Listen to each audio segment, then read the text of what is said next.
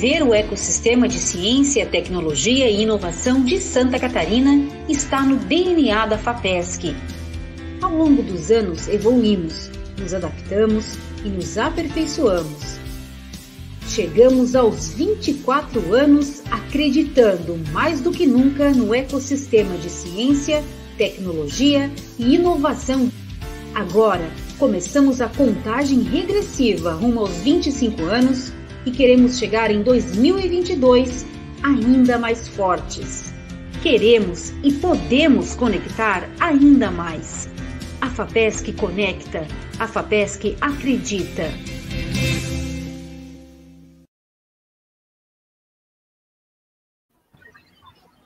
Agora sim, boa tarde a todas, a todos, a todos.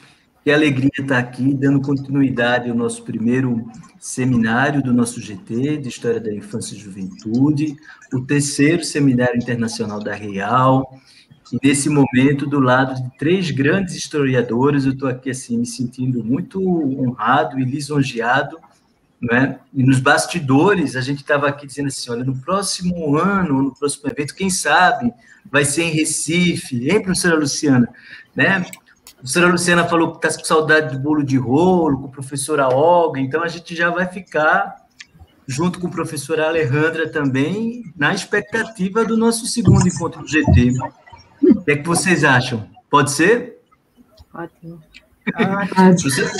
Pode, né? A professora Silva já está aqui, estou vendo aqui que ela já deu boa tarde, assim como o Daniel, né? E tem um público aqui já, né, atento. Professora Eliane, do Paraná, um grande abraço.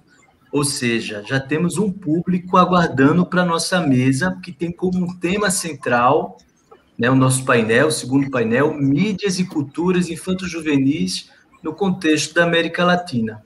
Então, que alegria a gente estar tá aqui compartilhando esse momento com os professores que são doutoras, especialistas na temática da infância e das juventudes e a gente vai propor, a partir de agora, a seguinte dinâmica, né? A gente vai começar com a professora Alejandra, logo em seguida a professora Olga, e concluindo a parte das apresentações com a professora Luciana.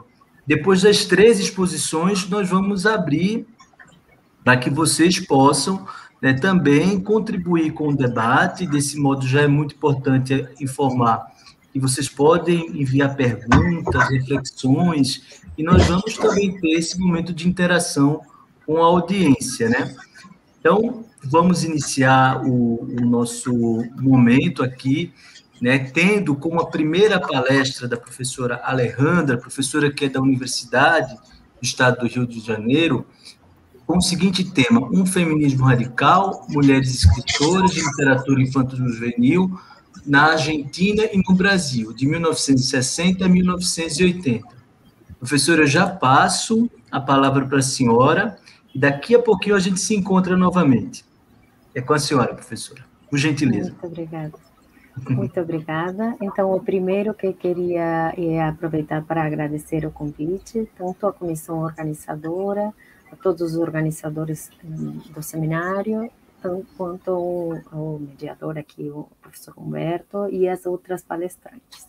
Então, eu vou eh, modificar um pouquinho, modifiquei um pouquinho o título da apresentação, que é Um Feminismo Radical, Mulheres Escritoras de Literatura Infanto-Juvenil na Argentina. É, porque hoje eu vou focar sobretudo no caso argentino, né? nesse período, mas sobretudo no caso argentino. Depois, nas perguntas, podemos passar para conversar também sobre a relação e a comparação com o Brasil, mas o foco hoje vai ser esse. Então, essa apresentação vai focar justamente na intervenção de um grupo de mulheres no campo da literatura infanto-juvenil nessas décadas, de, de 1960 até 1980. E vou começar por uma citação de Maria Helena Walsh, que é uma, um artigo chamado Corrupção de Menores. Eu vou ler em português para que vocês possam acompanhar aí, a citação está em espanhol. Educamos nossas filhas para que o dia de amanhã, se o há, sejam ociosas princesas da elite? As educamos para redes de adocicadas florestas? As educamos para futuras cortesãs? As educamos para as anãs, anãs mentais de supérfluas senhoras gordas? Educar para o ócio, para a servidão e a trivialidade, não significa corromper a sagrada potência do ser humano? São palavras de Maria Helena Walsh, uma das mais célebres autoras infanto-juvenis argentinas, numa crônica sobre a educação das meninas, publicada no jornal Clarim em pleno processo de reorganização nacional, pelo qual denominou seu último governo ditatorial argentino. Devido a este tipo de crônicas, no qual ela, ela censurava, é, criticava a censura imposta pelo governo militar, Walsh seria incluída na lista de, negra de personagens da cultura qualificados como é, com Fórmula 4, que os considerava desse modo, como registra antecedentes ideológicos marxistas que fazem aconselhável seu não ingresso ou permanência na administração pública, a não proporção de colaboração, não ser auspiciado pelo Estado. Isso, é, a partir de então, Walsh não poderia fazer mais apresentações na televisão ou no rádio, foi proibido de oferecer seus espetáculos ou de frequentar escolas. Foi nesse momento que Walsh abandonaria os cenários é, não, e, só voltaria a publicar seu texto, seus textos para o público infanto-juvenil depois o, o, o, retorno da democracia, quando se tornaria ícone e emblema uh, justamente de um pensamento anti-autoritário. Esse caso não constitui uma exceção. Na verdade, esse, este trabalho que eu vou apresentar hoje eh, diz respeito a uma verdadeira batalha que se travou na, na, na literatura infanto-juvenil sobre os modelos de paradigmas da educação das crianças e, sobretudo, como aparece na citação, sobre como educar as meninas. Por um lado, estavam aqueles que consideravam que deviam ser educadas para o ócio, para a submissão, para o servilismo e a trivialidade, como fala Walsh. Por outro, houve um grupo potente de mulheres eh, escritoras que acreditaram que as meninas deviam ser educadas na independência e na liberdade, numa literatura anti-autoritária. Então, esta palestra está dividida em quatro partes. Na primeira parte, vou, fazer um pouco uma, um apanhado do contexto histórico, político e cultural. Vai ser rápido. Hum, depois podemos fazer, enfim, falar mais sobre isso nas perguntas. Na segunda parte, vou falar como elas, essas escritoras se inseriram no mercado cultural para crianças e jovens. Na terceira, vou, vou selecionar alguns contos e poemas e é, textos nos quais aparece ah, um horizonte anti-autoritário é, na literatura infanto-juvenil, e na quarta vou mostrar como a, a, a, aparece, então, a partir das personagens femininas, a subversão dos parâmetros tradicionais para pensar a feminidade. Então, na primeira parte, como falei, vamos falar do contexto de transformações sociais, culturais e políticas nos quais aparece este boom da literatura infanto-juvenil. Então, por um lado, temos é, uma, série, uma, uma, série de décadas marcadas por conflitos e instabilidades cívico-militares na Argentina. Um golpe militar instaurado em 1966, num contexto de violência e luta entre diferentes grupos e facções. O, segundo, outro, é, digamos, houve outro golpe entre 1976 e 83, o chamado processo de reorganização nacional, caracterizado pela repressão, perseguições e torturas. Quais foram as políticas educacionais neste contexto? Os militares instituíram políticas autoritárias e conservadoras na educação, desestruturaram programas e campanhas de alfabetização, eh, eram portadores de um discurso que estimulava o controle e a vigilância das crianças e, e a censura aos livros, entre eles aos livros didáticos, a queima de livros e expurgos de bibliotecas, né? Então, a, a, partir de um modelo tecnocrático repressivo no sistema escolar, que buscou desarticular a democratização social, privilegiou uma visão nacionalista, imbuída de valores morais e religiosos, de uma sociedade harmônica e não conflitiva, a partir de um modelo de uma educação individualista, instrumental e decodificadora. Vemos, por exemplo, no documento Subversión en el ámbito educativo, Conozcamos a Nuestro Enemigo, que aparece especificamente a questão da literatura infanto-juvenil né? Uh, acusa, então, a acusação aos professores de difundir condutas rebeldes através da leitura de contos destinados ao público infanto-juvenil. Afirma-se nesse documento que haveria uma ofensiva marxista na literatura infanto-juvenil, a qual transmitia à criança uma mensagem de autonomia e independência e considerava a criança protagonista ativa da sua educação, a partir da liberdade e alternativa. Então, segundo esse documento, a literatura infanto-juvenil seria um meio de difusão dessa ideologia marxista, que estimularia, então, a falta de medo à liberdade, a, a modificação dos valores tradicionais, né?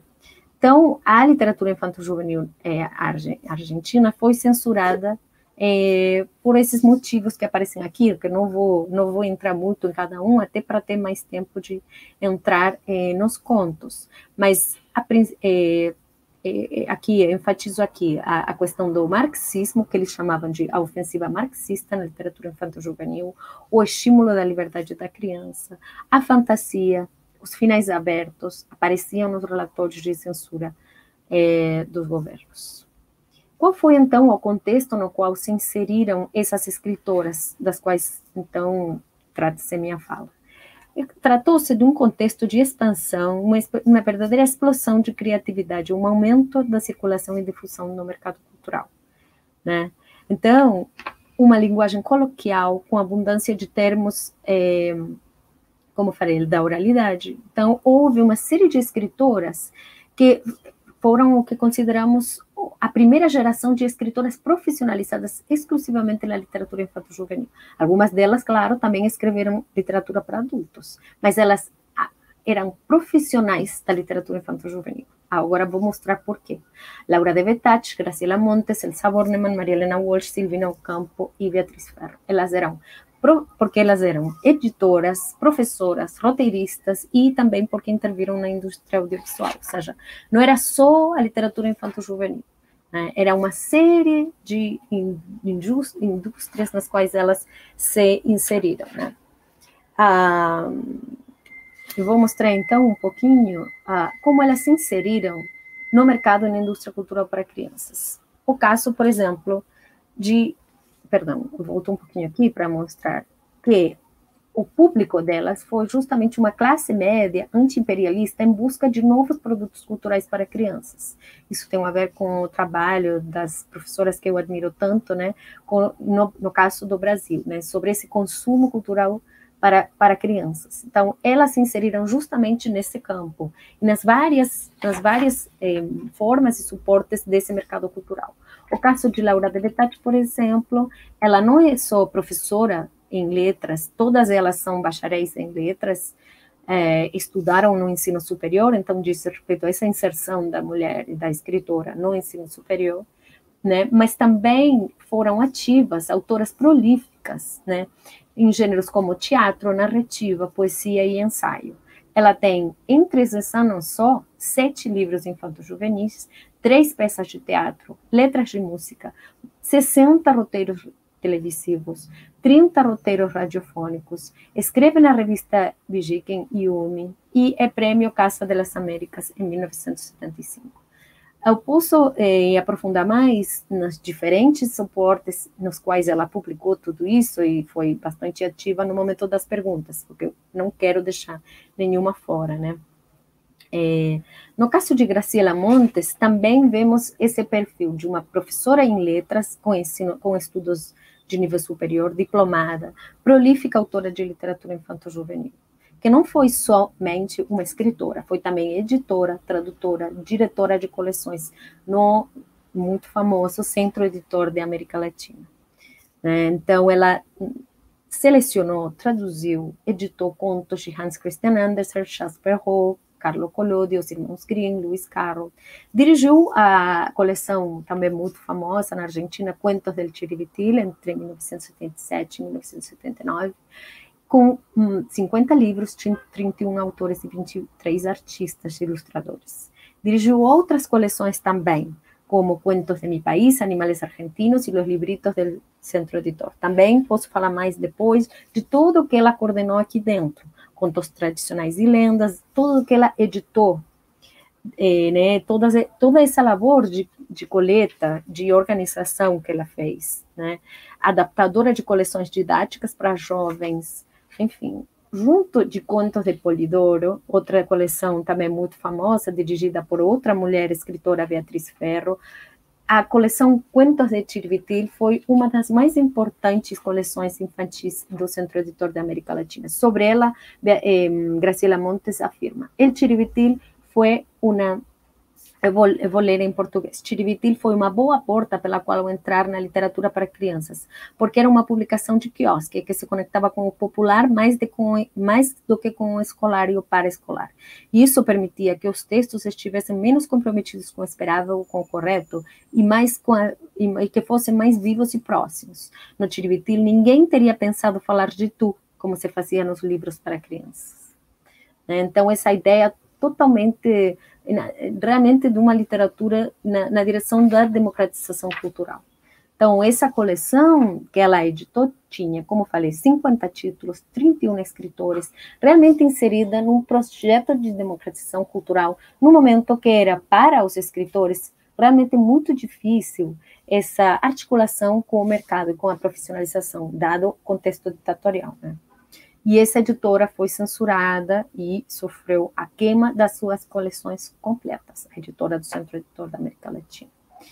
Outro exemplo desse, desse, dessa atividade né, em múltiplas mídias para crianças e jovens foi Maria Helena Walsh, que tem entre esses anos 18 livros infantos juvenis, 10 discos musicais para crianças e jovens, um filme também infantil, três espetáculos, que são também muito conhecidos na Argentina, Los Sueños del Rei Pombo, Canções para Mirar e Doña Disparate e Bambuco. É, devido, então, como falei, às colunas que ela escreveu, em particular a uma coluna na qual ela critica a censura imposta aos meios de comunicação, como falei, Mariana Walsh foi inserida nesta lista, nestas listas negras de autores é, é, proibidos de aparecer nos meios de comunicação ao longo da ditadura.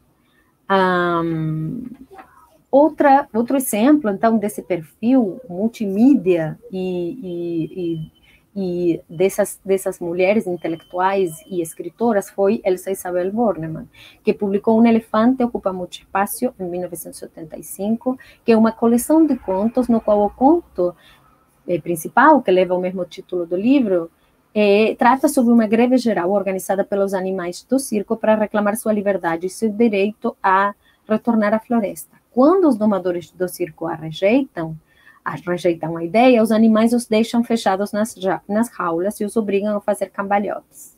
Diante disso, os domadores, eh, os domadores aceitam e os animais conseguem retornar à floresta. O texto foi, foi proibido e está aqui ah, uma citação de parte do decreto que é por ter uma finalidade de doutrinamento, aqui, objetivo de doutrinamento que resulta preparatória na tarefa de captação ideológica do acionar subversivo, no qual se fala que ele fere a moral, a igreja, a família, o ser humano e a sociedade. Então, aqui aparece o, o modo como ela, na verdade, soube da censura de, de, seu livro, desse decreto de censura, foi através de um, um amigo dela que a ligou Uh, e, e, ela, e como consequência, a editora Livrarias Fausto, como aparece nessa matéria de jornal, uh, foi, foi clausurada. Né? Então, Bornemann relata que tomou conhecimento da censura do livro por um amigo e vizinho que viu no jornal justamente a matéria, e, é, e ajudou a fugir da sua casa. Então, ela conta um pouco os dias de angústia que ela passou nesse contexto. Né? Muito bem, vou pular aqui um outro exemplo, que é a censura Edições de la Flor, que incluiu textos, livros como El Caballo Alado, El Caballo Alado de Silvino Campo, que também assinou uma carta uh, justamente solicitando a liberação do editor, dessa editora, era só uma digamos, uma pequena nota de rodapé, para passar justamente para a leitura, digamos, a análise dessa literatura infanto-juvenil anti-autoritária, né? Então, para começar, La Torre de Cubos. La Torre de Cubos é um conto muito famoso já na Argentina, que conta justamente é, bom, tem vários, é, perdão, La, Torre do Cubo, um livro, na verdade, tem o conto está aí também, mas eu vou hoje é, é, fazer foco em La Planta de Bartolo, que é um dos contos que é incluído na história, no qual uh, aparece Bartolo, que é um personagem, um menino preocupado com os altos preços dos cadernos, que decide então cultivar uma planta na qual nascem cadernos para distribuí-los entre as crianças da cidade. E é assim como fala aqui é, Laura de Betach, autora no prefácio que escreveu uh, posteriormente, em 1985, após a volta da democracia, fala que escreveu o conto quando vivia, morava em um bairro onde às vezes os pais ficavam afligidos porque seus filhos terminavam rápido os cadernos e eles não podiam comprar outro logo em seguida. E hoje até podemos nos relacionar um pouco com esses altos custos dos materiais escolares, de tudo que é a cultura infanto-juvenil, né? A cultura escolar e a cultura infanto-juvenil. Então, tem a ver diretamente com um, um, um enunciado sobre a realidade dessas crianças, né? E a autora assinala justamente é, é, a, e faz apelo a um público leitor, leitor que experimenta é, justamente essas dificuldades dentro desse mercado infanto-juvenil. É, e nesse conto, como falei, um vendedor de cadernos, furioso pela distribuição gratuita é, empreendida por Bartolo, tenta, sem sucesso, comprar-lhe a planta. Mas Bartolo rejeita as ofertas. E, portanto, começa então uma batalha entre o vendedor e as crianças, na qual as crianças acabam vencendo e ajudam a Bartolo e, enquanto a polícia ajuda o vendedor. Né? O texto prioriza, como vocês veem, o valor da cooperação e do bem comum por sobre o lucro, é, e em um horizonte de democratização da educação e da cultura. Né? E o poder econômico representado pelo vendedor aparece aliado ao poder político representado é, na polícia. É, interessante, então, ver, bom, é, na, na, na, resolução que aparece a provisão do decreto, os militares argumentaram que continha simbologia confusa, questionamentos ideológicos sociais, objetivos não adequados ao fato estético, fantasia ilimitada. Né? Esse é o Bartolo, é, tá, essa imagem é da primeira edição, é, regando né, a, a planta de cadernos. E que há uma crítica, enunciavam os os, os censores, a organização do trabalho, ao princípio de autoridade, questionamento da vida familiar e destruição de valores tradicionais. Ou seja, um questionamento no nível político, econômico e social, né, representado pela alternativa ao mercado que a planta simboliza, e da luta das crianças unidas para enfrentar o vendedor e a polícia. Né? Nesse mesmo prefácio que eu já mencionei, Devetat dedica o conto a todas as professoras e professores que circulavam os contos quando estava proibido. Muito obrigada. Desse modo, Devetat aponta os canais de resistência dentro da censura, colaboração e cumplicidade entre autoras e docentes, e a circulação em forma clandestina do livro, e que é claro seu caráter político e seu conteúdo contencioso. Né? O conto foi proibido nas províncias de Santa Fé, Buenos Aires Mendoza, até que recebeu o decreto de provisão nacional. É, bom, hum, vamos então passar a, a, a, um elefante. Um elefante ocupa muito espaço, eu já falei, já mencionei, mas eu quero enfatizar justamente a ideia da colaboração entre os animais, do questionamento de hierarquias sociais e da perspectiva da criança é, a, para transformar as convenções em normas, que aparecem em muitos outros contos também desse livro, Um Elefante Ocupa Muito Espaço. Né? É, acusado, foi acusado então de doutrinário subversivo, mas o conto, na verdade, como vocês veem, questiona a submissão dos animais pelos proprietários do circo e advoga justamente pela liberação dos oprimidos. Nesse e outros contos, Bornemann toma a perspectiva de personagens, crianças, jovens, adultos e animais, que se propõem transformar as convenções e as normas sociais, pelo qual justamente foi acusada de promover a desagregação social e de semear ideias dissolventes na mente infantil. Então, vou passar agora à última parte, que é justamente sobre as mulheres, né? A, a, como aparecem a figuração dessas meninas e mulheres nos contos, nesses contos dessas escritoras é, já mencionadas. Então, as excêntricas e as rejeitadas e seu potencial de transformação. Então, ah, aqui aparecem personagens pouco convencionais, sobretudo mulheres, que povoam os textos dessas, dessas escritoras, apontando para a quebra dos estereótipos, o absurdo, o humor e a possibilidade de transformar a forma de fazer as coisas. Os contos, com humor e com uma linguagem lúdica, conferem legitimidade àqueles e àquelas, sobretudo, que rejeitam o senso comum e buscam formas alternativas de viver, de experimentar, de se pensar e de imaginar a relação com os outros. Então, isso vemos, por exemplo, esses personagens excêntricos. Um dos exemplos é a vaca, na, na, na, muito conhecida canção A Vaca Estudiosa, incluída em Tutu Marambai, um poema também, né? O, o livro é de 1966 e conta a história, o poema A Vaca Estudiosa, de uma vaca que já de linha decide começar, começar a ir à escola novamente, eh, para estudar, né?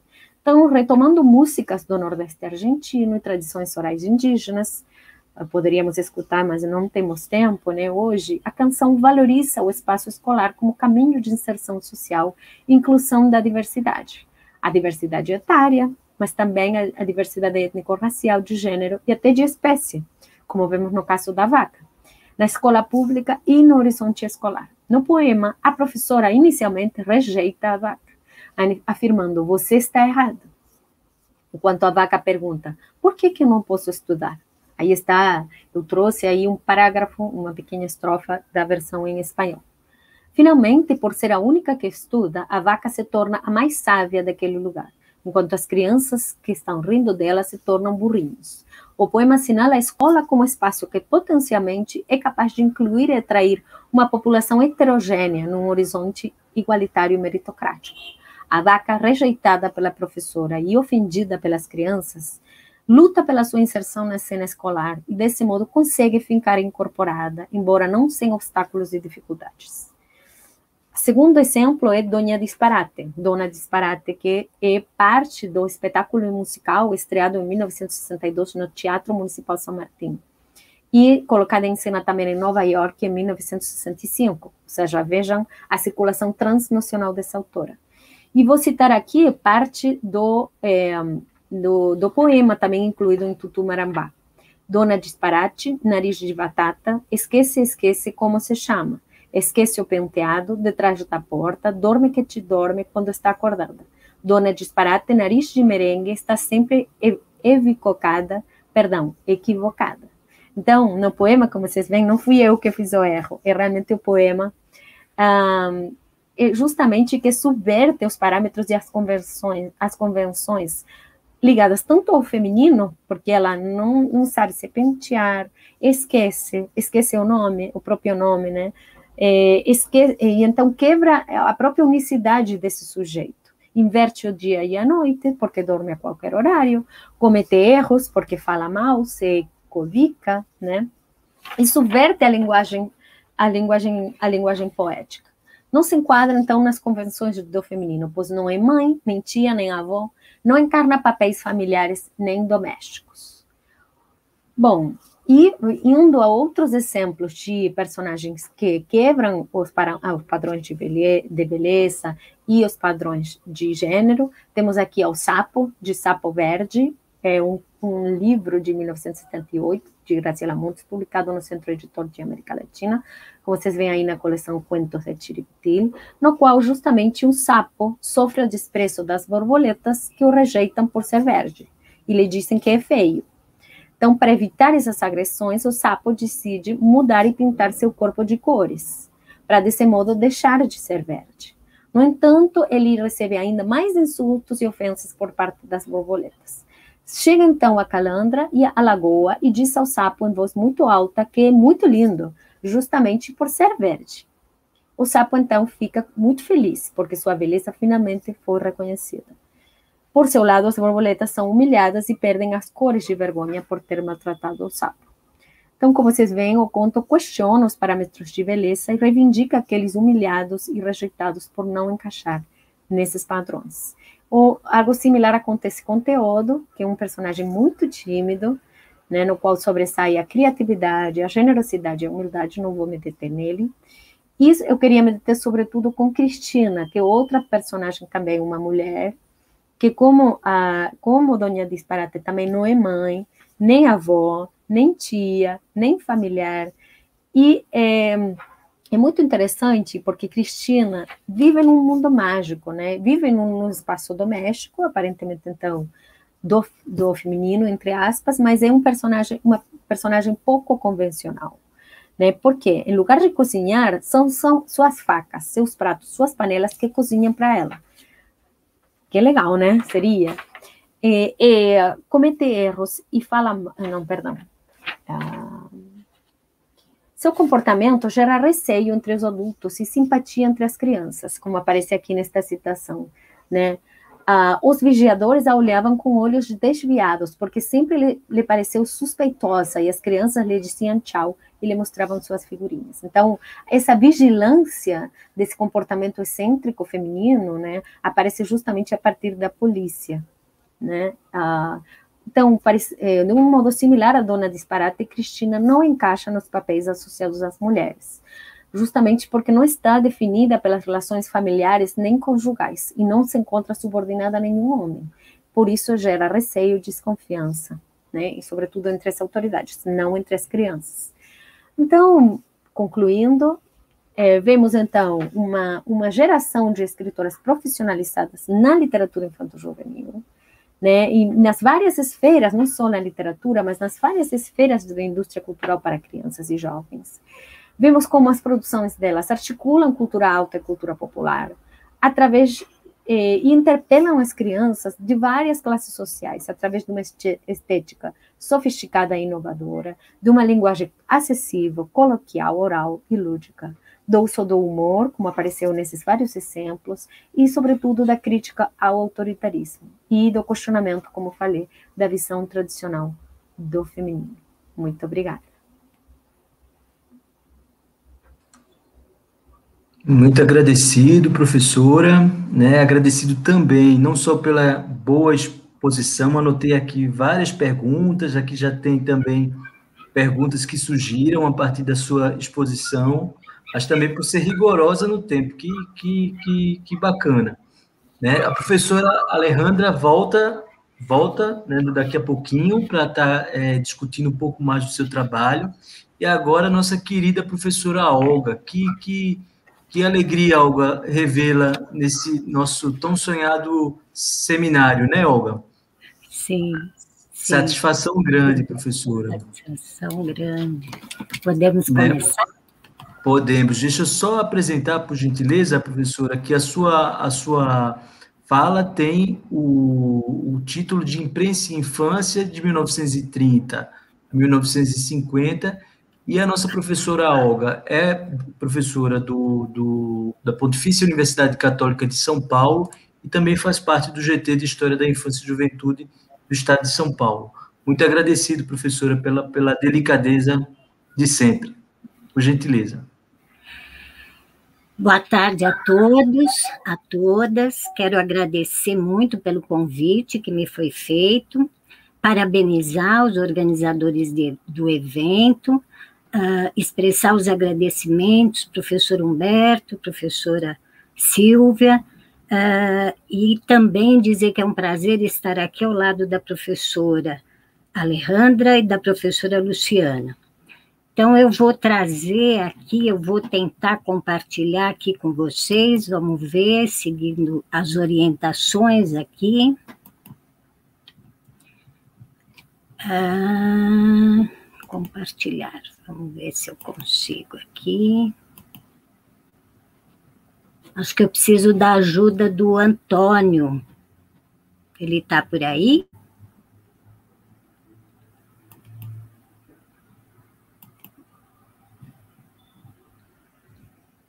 Vamos ver aqui.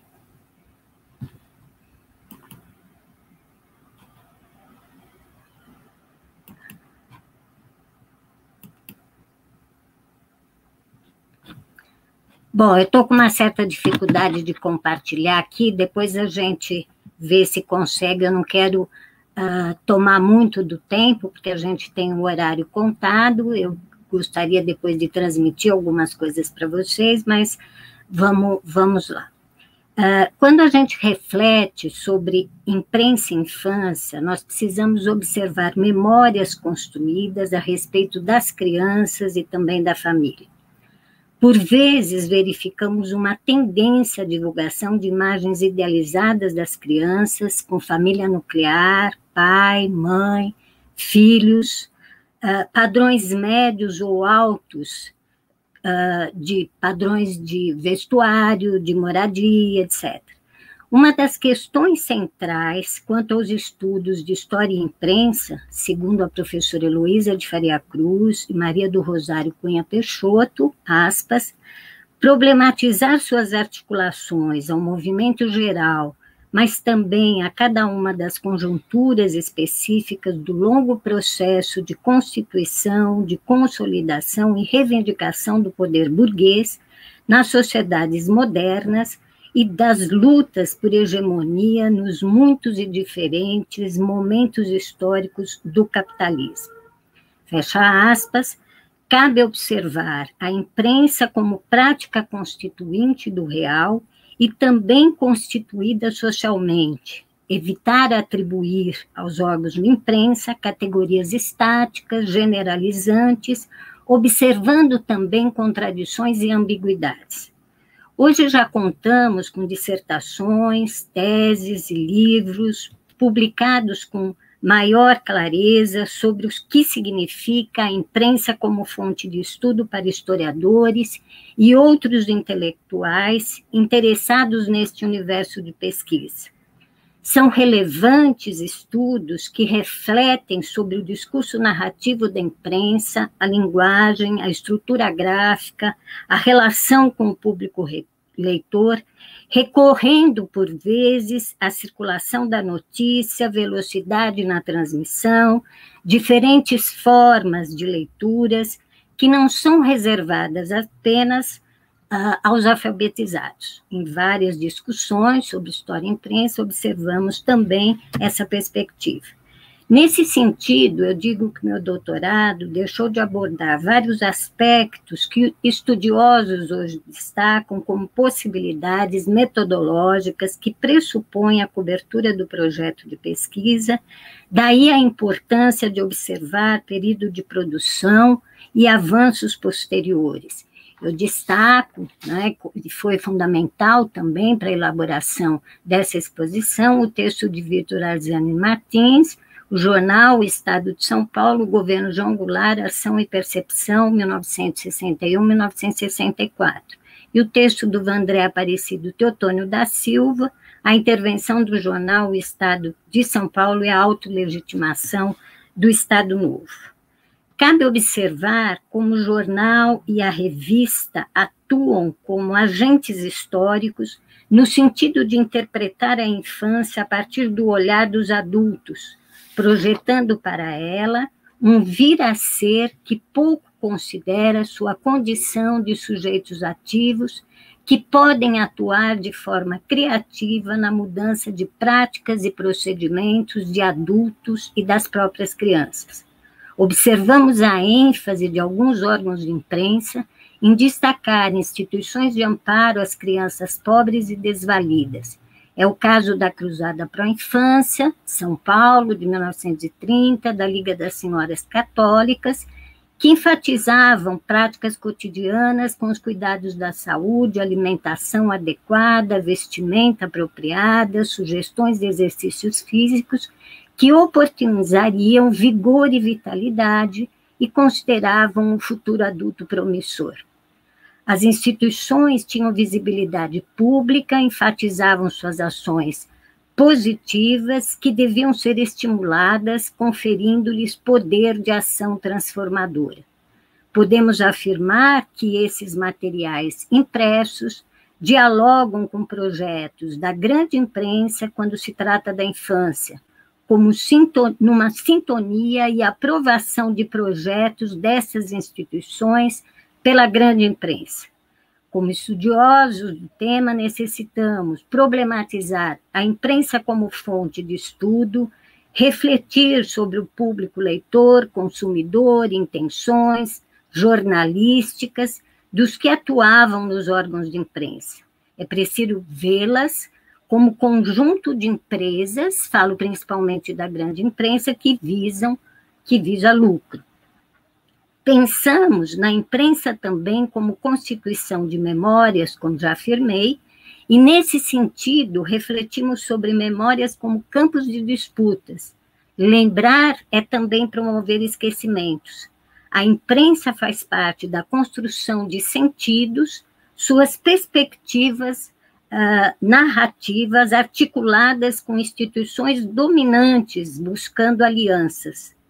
A busca pelo passado também está orientada por questões do, pre do presente. Pretende-se redimir o passado, buscar mudanças no presente e possibilidades de transformação para o futuro.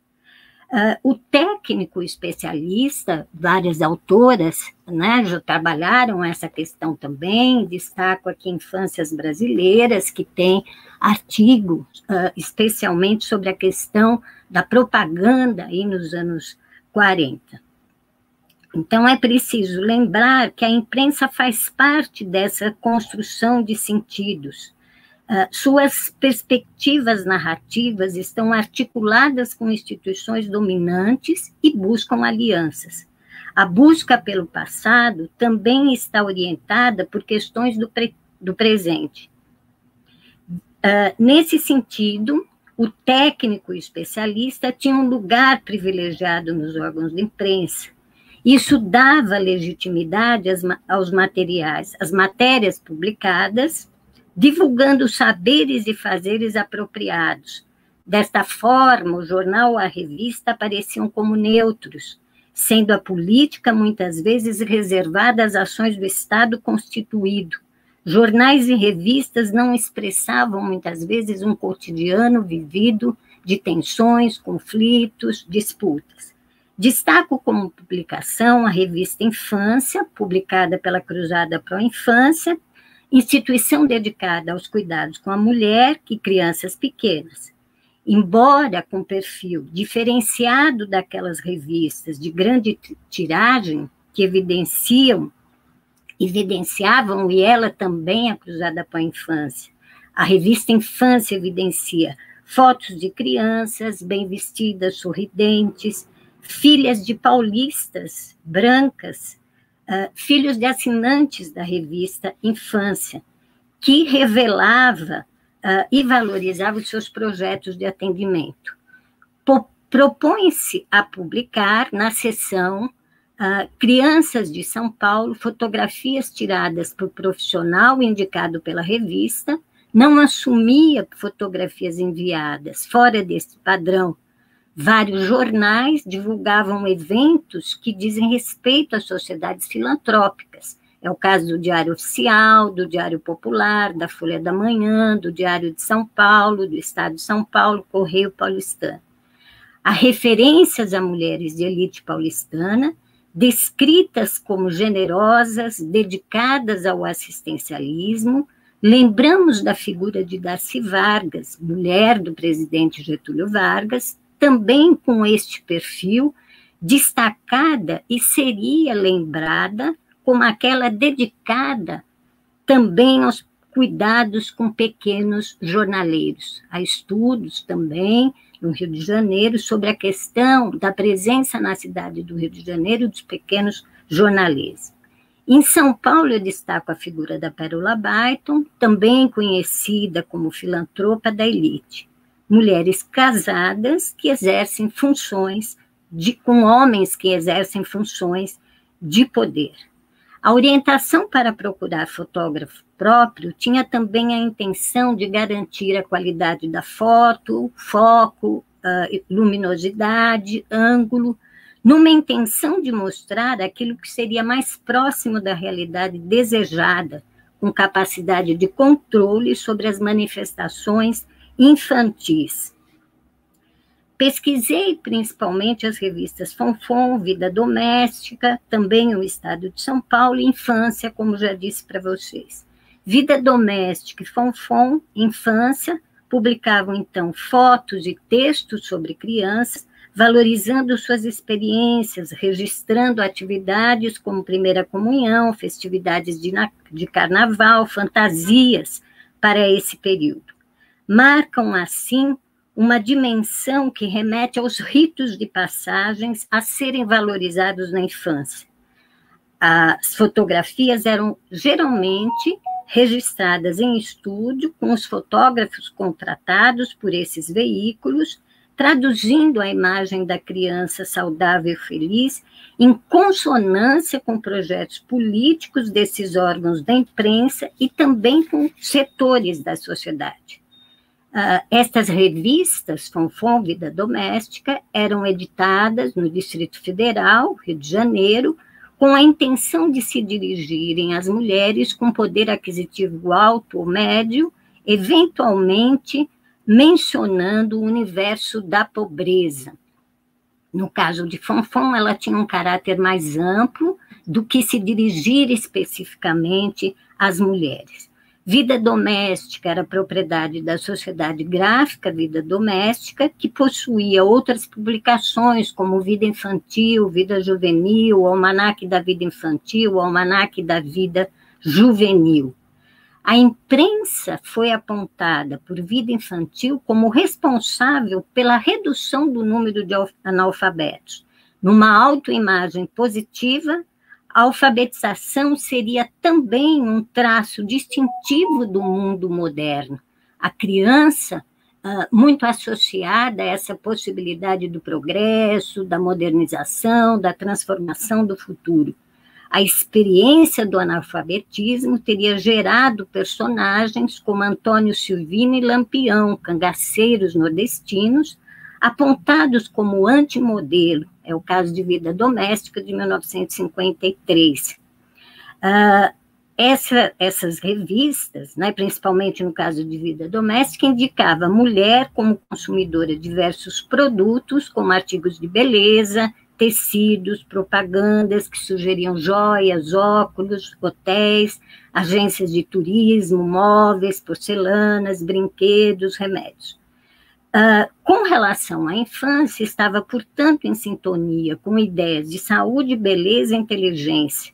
Dedicava também suas páginas, no caso de vida doméstica, ao consumo de alguns produtos que supostamente resolveriam de forma mágica diversas questões, o Todd, a emulsão de Scott, a veia quaker.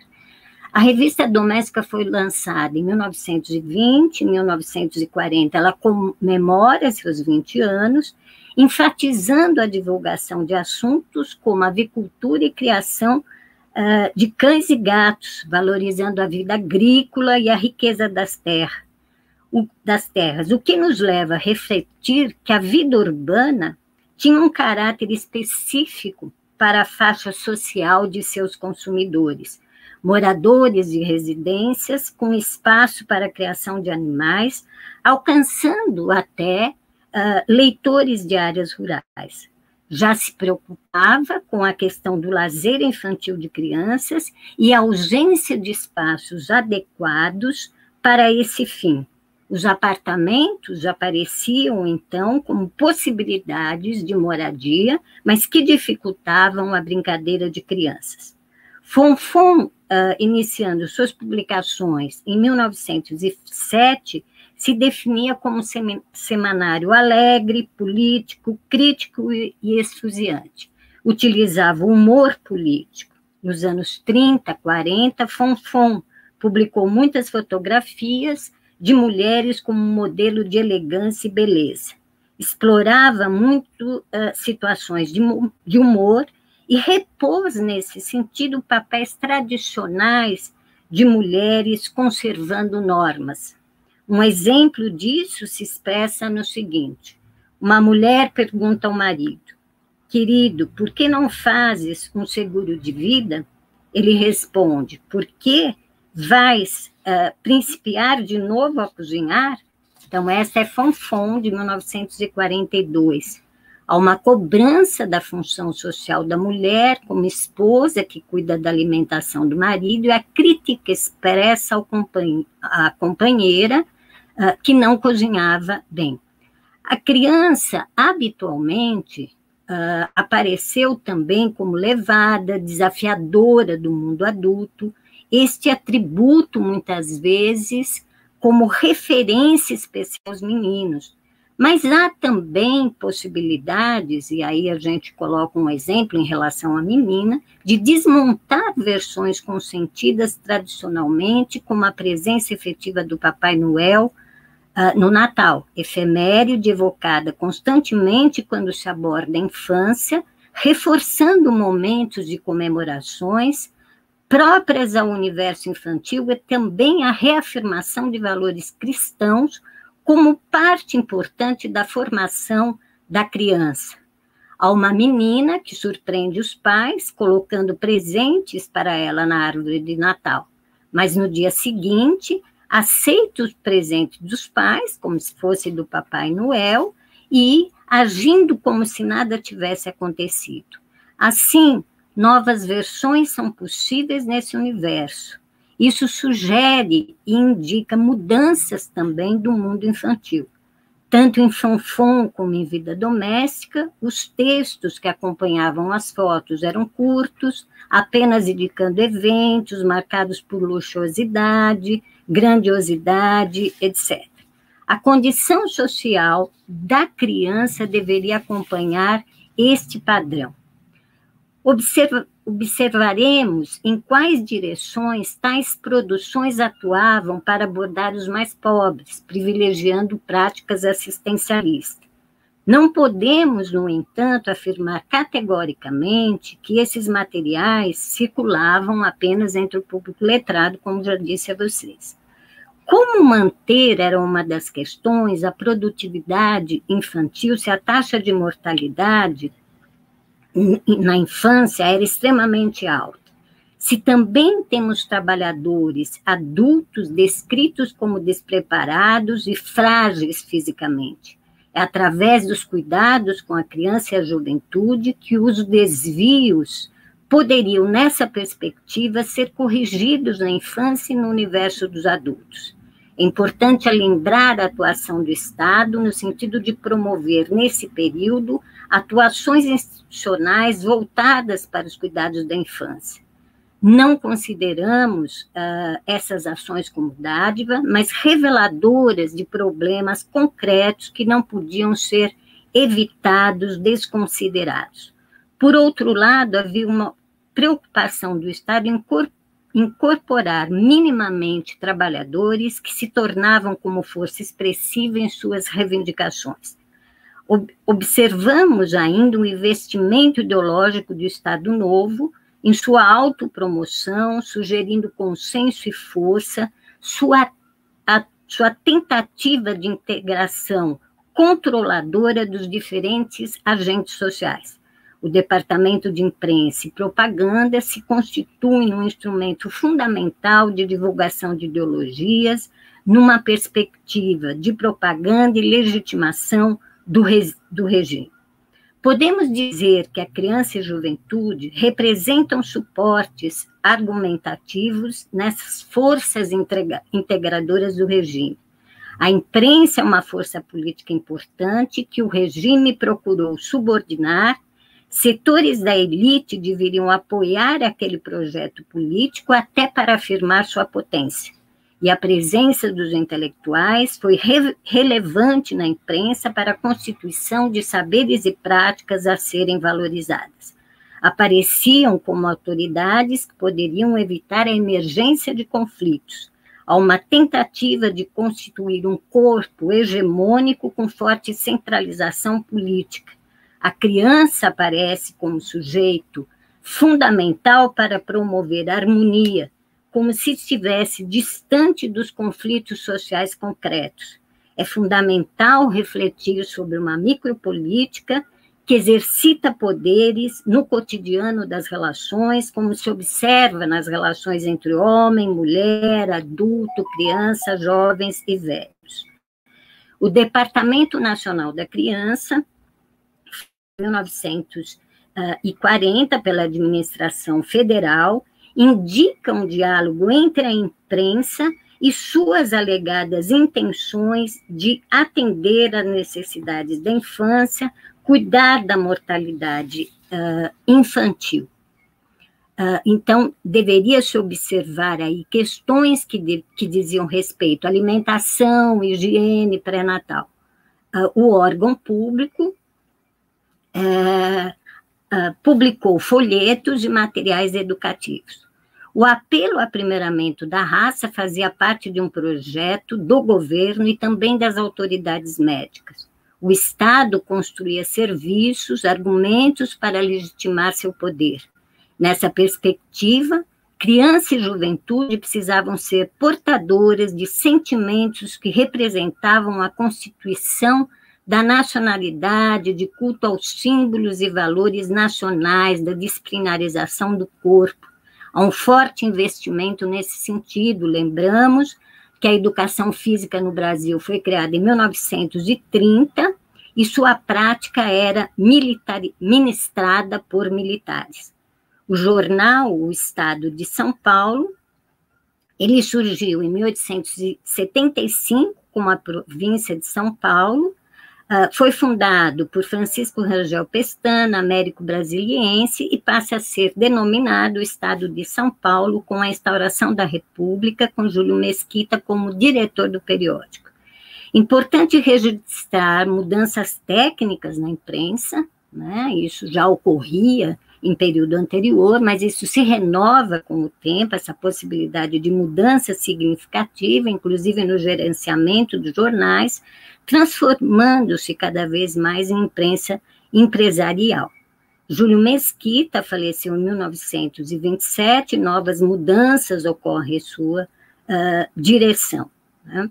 Embora o veículo não se colocasse diretamente identificado uh, ao governo, né, mas fazia parte de uma disputa política em São Paulo, a gente tinha ali naquele momento, nos anos 30, o Partido Republicano Paulista e o Partido Democrático, que vai representar uma cisão em relação ao Partido uh, Republicano Paulista, e os jornais aí uh, publicizavam propostas políticas das oligarquias paulistas. Né?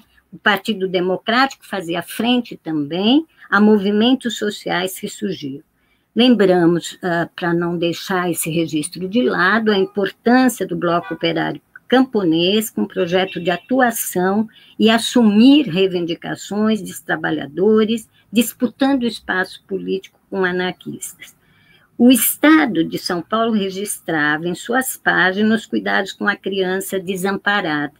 Nos anos 30, publicou-se a realização eficaz de assistência na cidade em relação à criança, são Paulo, como cidade, foi construída em suas páginas como a cidade do progresso, do avanço, apresentavam-se exemplos de outras cidades do mundo que se tornavam referências para o resto do Brasil, assim como a cidade de São Paulo se aproximava de outros centros mundiais, era projetada para o resto do Brasil como exemplo a ser seguido. Foram enfatizados, então, enfatizadas ações do poder público instituições que poderiam reverter o quadro de abandono, de desamparo. Assim, a imprensa sugeria práticas, procedimentos, colocando-se como sujeito ativo que interferia no, pro, no processo, visando a um presente e um futuro transformado. Dessa, dessa forma, o Estado não estava acima das relações de classe, Outros grupos políticos e frações de classe também sugeriam intervenções. Observamos alinhamentos políticos que não se limitam ao poder do Estado, mas que podem expressar anseios de setores sociais específicos de uma elite intelectual. É importante destacar que a imprensa não é pura manipulação, ela pode abrigar tensões, problemas, desejos e valores de outros grupos. A ideia, a intenção também era de penetração entre os diferentes uh, grupos sociais. No caso da infância, nós precisamos avaliar concepções de infância, as interpretações sobre esse período da vida, através de textos, fotos, propaganda, a, a caracterização da mulher como consumidora em potencial, mas isso não é genérico. Por vezes, a possibilidade de considerar as camadas mais pobres da população. Muitas vezes apareciam, né, em algum, alguns desses veículos, uh, apareciam sugestões de como produzir a roupa das crianças. Isso significava, num certo sentido, evitar gastos maiores que afetavam o orçamento familiar. Né? Uh, então, é importante também, quando a gente estuda imprensa, uh, pensar numa produção de impressos de instituições, de setores, associações, etc., né, instituições de acolhimento, Uh, claro que você tem uma produção diferenciada da grande imprensa, então as questões metodológicas que foram destacadas precisam ser observadas nas suas diferenças em relação à produção daquela grande imprensa, que visava essencialmente lucro, que não é o caso, por exemplo, né, da revista uh, Infância, mas que era um importante veículo de divulgação das suas atividades, da atenção, do atendimento à mulher, do acolhimento da criança, a, a, a promoção de concursos de robustez infantil, a, a valorização desse corpo robusto né, nesse, nesse momento. E a pobreza, muitas vezes, já estou terminando aqui, Humberto, vou, por, vou tentando finalizar, mas eu, eu, eu queria fazer uma observação né? Um, Para finalizar, eu fiz um, um, texto grande, mas de qualquer forma, né, nós temos um tempo aqui, precisamos deixar para o debate, mas de qualquer forma eu quero chamar atenção também para usos e abusos da infância, né?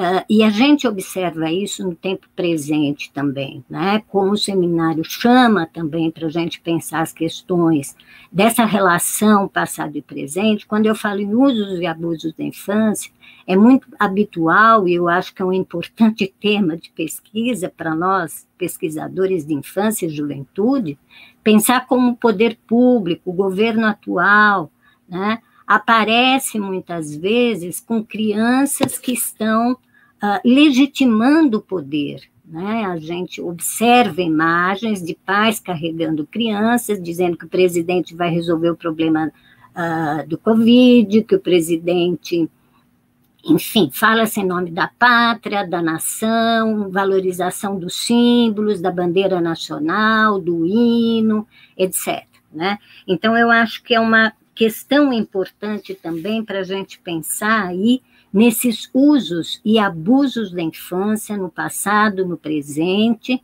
como é que você usa a infância muitas vezes para afirmar projetos autoritários que não são comprometidos com saúde, com educação, que tanto valorizamos uh, no presente. Né? Mas eu quero, eu vou parar por aqui, então, para respeitar, Humberto, o tempo que nós temos, né? E agradecer muito, e não foi possível compartilhar a tela aqui, tive dificuldade no compartilhamento, mas tudo bem, eu posso depois deixar, enviar, né, e se quiserem observar, tem uma série de, de fotos, etc., desses materiais das revistas que foram pesquisadas. Muito obrigada, obrigada a todos vocês. E... Nós nós que agradecemos, professora Olga. Brilhante exposição, aprendemos Obrigada. bastante. Já tenho aqui questões para que a senhora, né, no seu retorno, a senhora possa né, adensar, né, e não só questões minhas, mas também da audiência que está aqui nos acompanhando. E, e, inclusive, a senhora concluiu de uma maneira também muito, muito relevante, né? Penso que esses usos e abusos das infâncias no tempo presente é algo que, que a gente precisa aqui também refletir à luz do passado e a sua exposição também nos, nos leva a refletir essa questão tão séria.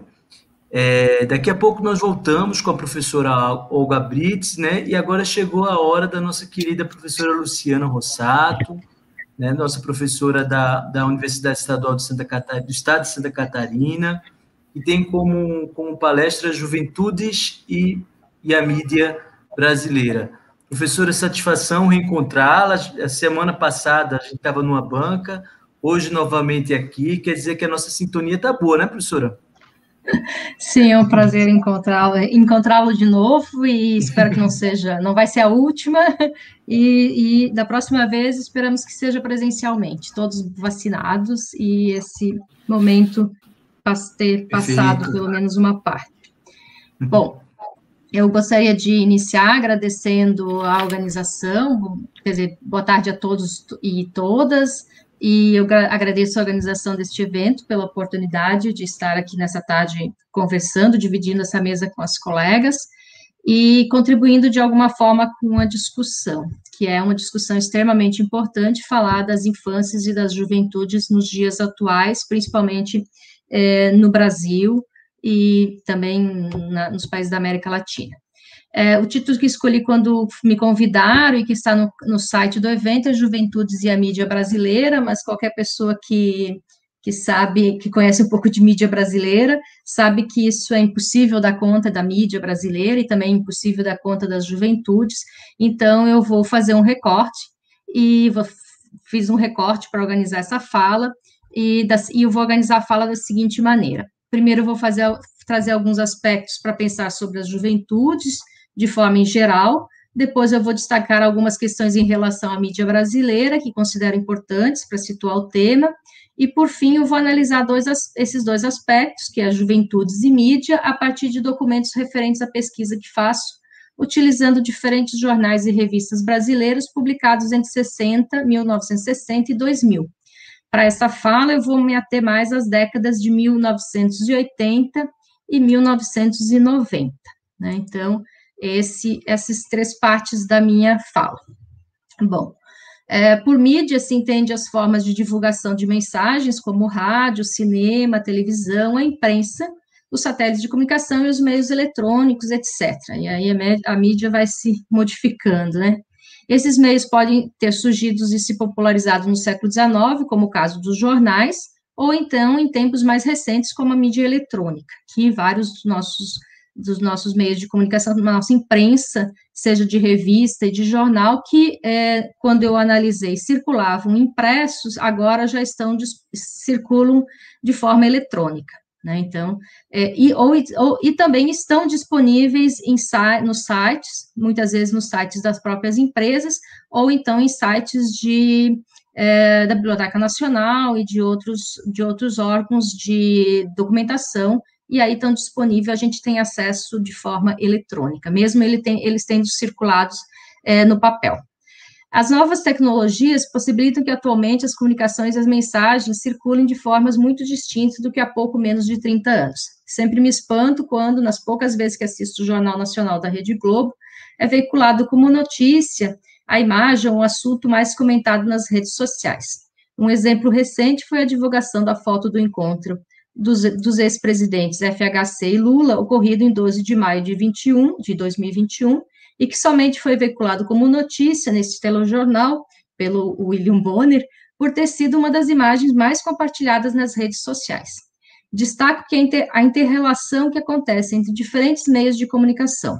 Ao mesmo tempo que uma grande empresa de comunicação veicula o que acontece nas redes sociais, o que é noticiado ou não, por essa mesma empresa é discutido nas redes sociais. Hoje, as formas de produção e circulação de informações são distintas e diversas, mas isso não significa que são igualitárias ou democráticas.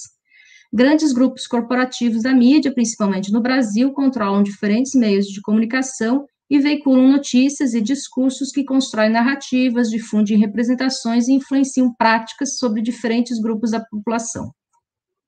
Isso acontece em relação aos negros, às mulheres, aos indígenas e também em relação aos jovens.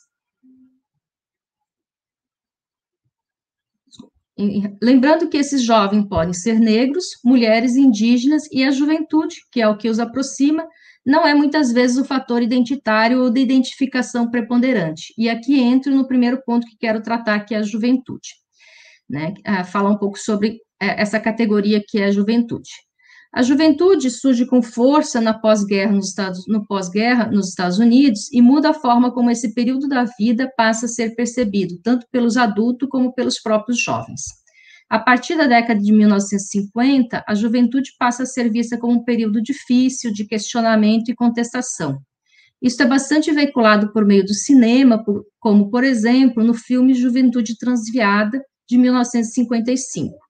Luisa Passerini trata trata de como os jovens e suas questões são difundidas pelo cinema hollywoodiano em capítulo publicado no volume 2 da obra História dos Jovens. Constrói-se assim uma representação de que ser rebelde ou passar por uma fase de rebeldia é algo inerente aos jovens e pela qual todos os jovens passam. A rebeldia deixa de ser demonizada ou restrita às classes perigosas e passa a ser vista como normal, entre aspas, em certo sentido como fonte de inovação e revigoramento social, desde que devidamente controlada, através da recondução, após um tempo, destes rebeldes ao padrões de normalidade socialmente estabelecidos. Quem assistiu o filme Juventude Transviada sabe que lá no final o jovem é, é o personagem principal se casa e aí deixa de ser o rebelde. Nas décadas de 60 e de 70, os movimentos juvenis proliferam e se ampliam. Destaco aqui os mais conhecidos, como o Maio de 68 na França e o movimento hippie de contestação à guerra do Vietnã nos Estados Unidos. Os jovens que participavam desses movimentos questionavam as organizações políticas, sociais, culturais e a moralidade das sociedades nas quais estavam inseridos. Segundo Eric Hobsbawm, a década de 60 é marcada por mudanças nas relações familiares e pelo aumento de uma cultura juvenil específica e extraordinariamente forte.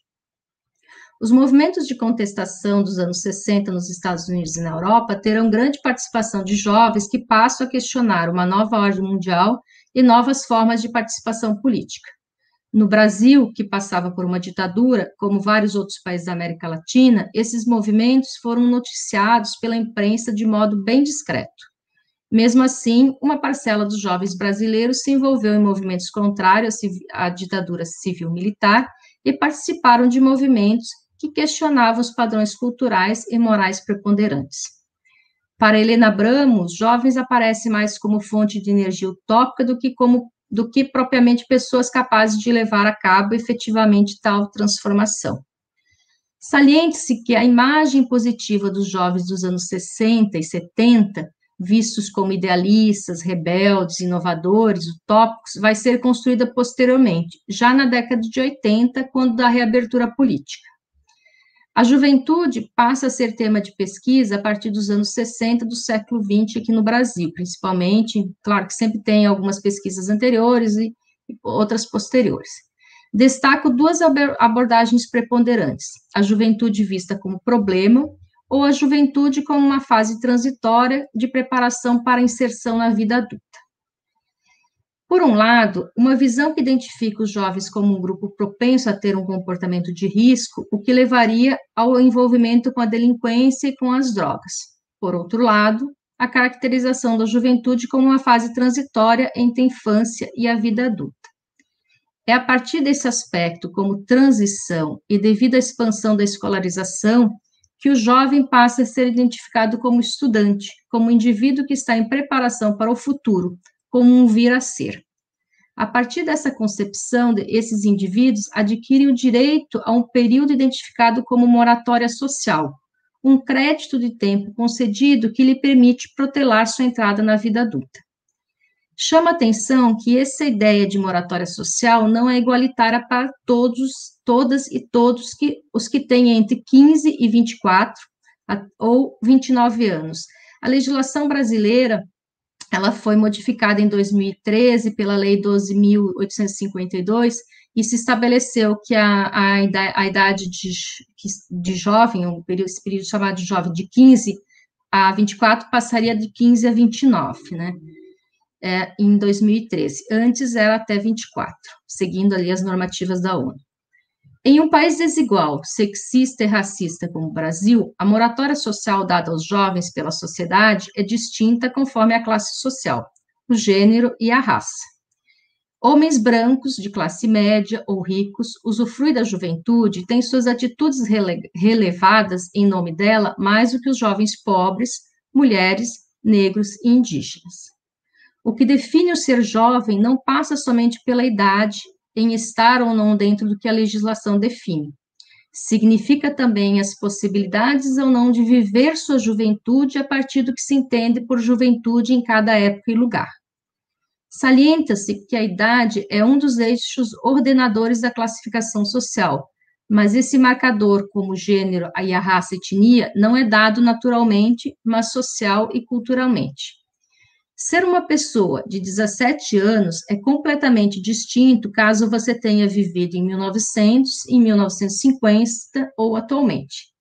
E essa experiência será totalmente distinta caso você for um homem branco ou um homem negro, uma mulher branca ou uma mulher negra, nesses três contextos distintos.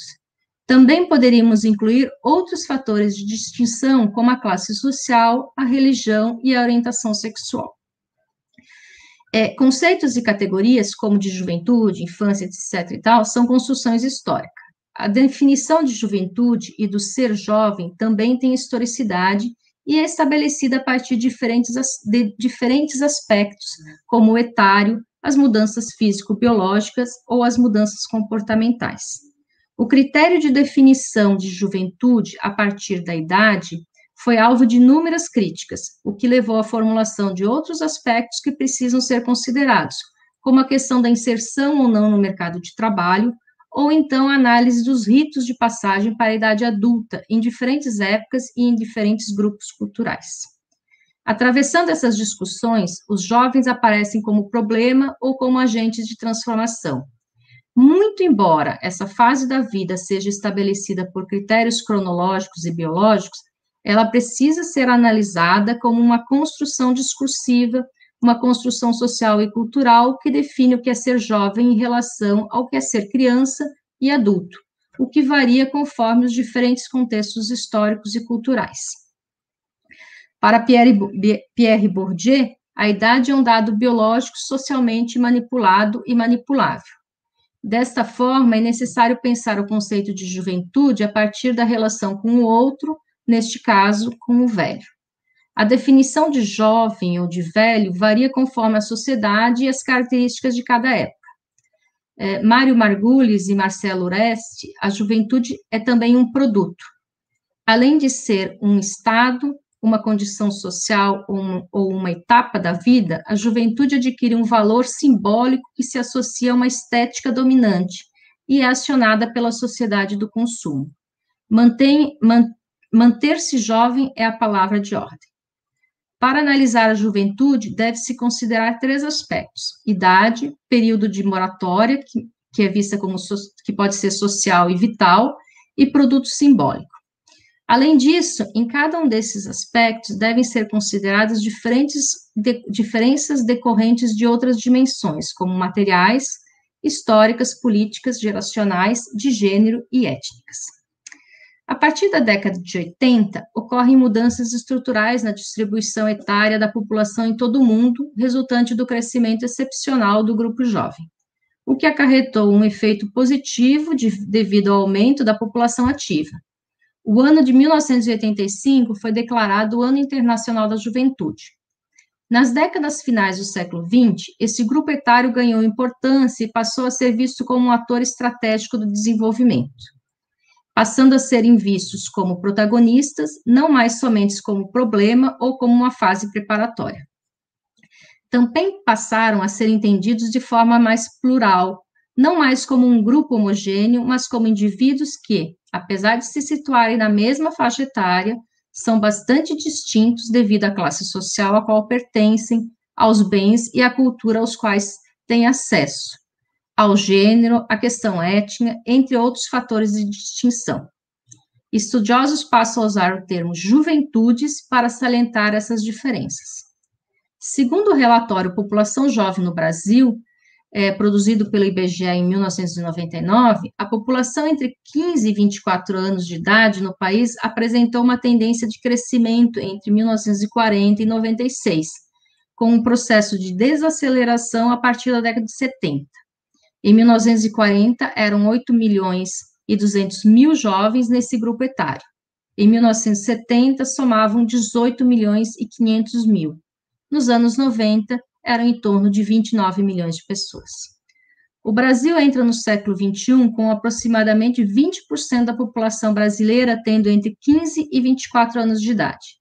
Esse percentual aumenta com a publicação da Lei 12.853, em 2013, que vai ampliar a idade dos que são considerados jovens, é, para compreender os indivíduos de 15 a 29 anos de idade e, assim, serem atendidos pelas políticas públicas voltadas para a juventude.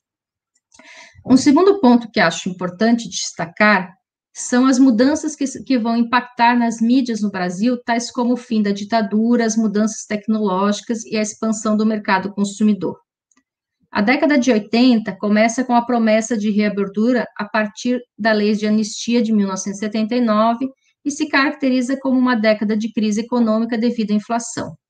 Esse contexto vai afetar a inserção dos jovens no mercado de trabalho, o que prolongará a juventude para os filhos de famílias abastadas ou de classe média, com a extensão do período de formação, bem como acarretará a dificuldade de maior, de, dos jovens de classes populares atingir essa maioridade econômica, uma vez que terão de ocupar cargos mal, mal remunerados, o que os manterá dependentes de sua família por mais tempo. Apesar dos, das intensas mobilizações pela direta já, a eleição do primeiro presidente civil foi pelo colégio eleitoral, foi eleito Tancredo Neves. Daí teve a morte do presidente, a inflação, troca de moedas, ano da juventude, Rock in Rio, movimentos sociais atuantes, nova Constituição, primeira eleição direta. É, quem é um pouquinho mais velho é, viveu tudo isso e era um, era um período bastante movimentado, se bem que atualmente está mais movimentado que naquela época. Os anos 90 começa com o presidente eleito diretamente, que é o Collor, e que acionou a imagem de juventude e vigor esportivo. Né? Então, isso era muito presente nos, nas propagandas dele, nas, nas saídas dele para passear de jet ski, um pouco parecido com o atual, né? O movimento das caras pintadas marcou o início da década de 90, que foi uma década de estabilização econômica e expansão do consumo. Em relação à imensa à imprensa, muitas mudanças também vão ocorrer entre os quais entre as quais o fim da censura, a expansão dos meios de comunicação e a modernização do parque gráfico, que já vinha ocorrendo desde a década de 70. Em 79, o novo decreto de regulamentação da profissão vai levar a uma mudança geracional nas redações. Inclusive, também vai acontecer, além de, de, de entrar é, jornalistas mais jovens, também vai entrar bastante jornalistas mulheres nas redações das revistas e dos jornais a partir dos anos 80 e 90. A pesquisadora Maria Celeste Mira vai destacar na sua tese O Leitor e a Banca de Revistas é, que o mercado editorial brasileiro de revista vai crescer e se compartimentalizar no decorrer dos anos 80 e 90. São revistas para, voltadas para a mulher que é dona de casa e para aquela que também trabalha fora, para a mulher jovem, para a mulher que gosta de trabalhos manuais, para o homem que gosta de carro, para os que gostam de cinema, de música ou de HQs. Então, vai essa compartimentação, compartimentação do mercado de revistas, principalmente, também vai afetar os jornais, que vão passar a trazer cadernos voltados para diferentes públicos. Então, é, sempre tem nos jornais os diferentes setores do jornal, mas a partir de um de, dos anos 80, 90, vai aparecer ali os, os vários cadernos, principalmente nos finais de semana, voltado para diferentes temas como turismo, é, folhetim e outros são. Para os jovens, o mais famoso é a folhetim da, da Folha de São Paulo, e que depois vai influenciar vários outros eh, cadernos no mesmo, voltados também para os jovens, em outros jornais, eh, como o Estadão, o Globo e outros jornais de outras regiões do, do país. Isso também acontecerá com as rádios, com a criação de canais específicos por gênero musical e com a TV com o surgimento nos anos 90 dos canais pagos. A partir de meados da década de 80, vai se expandir no Brasil um mercado voltado para os jovens, movimento esse que ocorre junto com o crescimento do mercado consumidor interno no país e que se consolida nos anos 90. É, vou fazer um, um, um, comentário que a primeira revista voltada para os jovens, ela não é dos anos 80, ela é de 72 e ela vai se manter até 1979, é, mas ela é a precursora dessas, dessas revistas para, os, para esse segmento, que é os jovens de 12 a 20 anos, que é a revista Pop. E ela vai escrever o seguinte na, na sua apresentação. Esse é o primeiro número da primeira revista da nossa idade, feita especialmente para você, jovem de 15 a 20 e poucos anos de idade, com coisas do seu interesse que, além de informar e divertir, também sejam úteis. Indicações para você comprar as últimas novidades em discos, livros, aparelhos de som e fotografia, máquinas e motocas, roupas incrementadíssimas. orientação na escolha de, de uma profissão, reportagens sobre assuntos da atualidade. E muita música, claro. Veja a revista, depois escreva para a gente, nós queremos saber o que você achou. Então, aqui aparece um, um, uma definição de quem é esse jovem para quem estava sendo feita essa revista e o que, que ele iria encontrar nessa revista. Outras revistas comerciais vão surgir e desaparecer no decorrer da década de 80 e 90. A Capricho, voltada para meninas jovens, é um exemplo de sucesso por sua longevidade. A Agência de Notícias dos Direitos da Infância e Adolescência realizou entre, no, entre novembro, novembro de 1997 e abril de 1998 a pesquisa Os Jovens na Mídia, feita em parceria com a Fundação Odebrecht com apoio da Unicef. O trabalho tinha como objetivo mostrar a atuação da mídia impressa voltada para os adolescentes. A pesquisa constatou o aumento rápido no número de veículos para esse público, que passou de 18 para 32, e também na quantidade de matérias que se referiam aos jovens, que passou de 295 para 935 ao mês. Então, a gente vê ali nos anos 80, é, junto com a expansão do mercado consumidor, também toda uma expansão de um, de um mercado é, e de materiais e de produtos para os jovens e que eram difundidos nessas revistas. Como os jovens aparecem na imprensa escrita no, nos anos 1980, 90 no Brasil? De formas muito distintas, dependendo de qual parcela da juventude e também dependendo de qual órgão da mídia impressa. A grande imprensa veicula notícias ou imagens dos jovens em diferentes partes do jornal ou das revistas, além, claro, dos cadernos específicos para os chamados teens, que têm como foco atender jovens de 15 a 17 anos. Nesse sentido, em um jornal de circulação diária, os jovens podem ser encontrados na parte da educação, como estudantes, na parte policial, como menores ou outras denominações mais pejorativas, a depender da linha do jornal e da época. O mais comum mesmo é na parte de comportamento, onde são divulgadas tendências de comportamento ou então acontecimentos como, por exemplo, Rock in Rio no ano de 1985. O jornal O Estado, que é um jornal que eu, que eu, que eu pesquisei, é, Jornal de Circulação Estadual de Santa Catarina, publicou o, o artigo intitulado, abre aspas, ônibus de todas as partes chegam ao Rio trazendo jovens dispostos a viver a aventura de um festival, esperançosos de viverem as mesmas loucuras dos jovens que nos anos 60 reuniram-se em Woodstock, White e outros festivais. Fecha aspas. Este evento foi o tema que levou à publicação de vários textos no, no decorrer dos dias do evento, que acho que durou 10 dias, se não me engano, uma semana, 10 dias, e, e, que inclusive foi veiculado pela Rede Globo, foi transmitido partes pela Rede Globo uh, na canal aberto na época, e que tinha e que vinculava os jovens à música, né? Em análise realizada neste jornal durante um ano, constatou-se que os jovens tornam-se notícia em momentos muito específicos.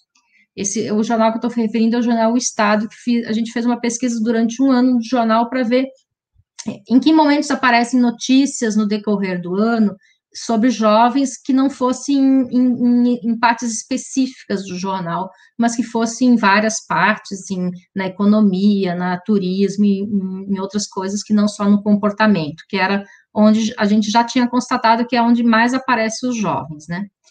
É, eles, eles aparecem no carnaval, no início do ano letivo, porque aí tem a vinculação de jovem enquanto estudante, no período do vestibular, então tem sempre as propagandas de vestibular, a situação do vestibular, como fazer as coisas, e nas férias, quando se fala de praia, surf e baladas, porque aqui é, o estado era, era o jornal daqui da, de Santa Catarina e era, é, o, a, era publicado aqui em Florianópolis, né? então aí a, a capital aparecia bastante.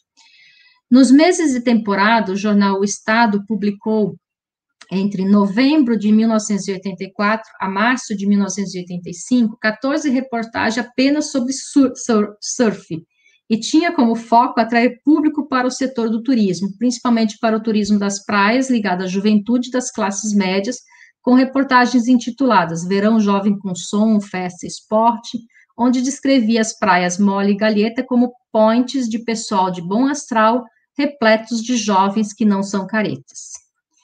Outras fontes analisadas na minha pesquisa foram as revistas semanais como Veja e Isto É.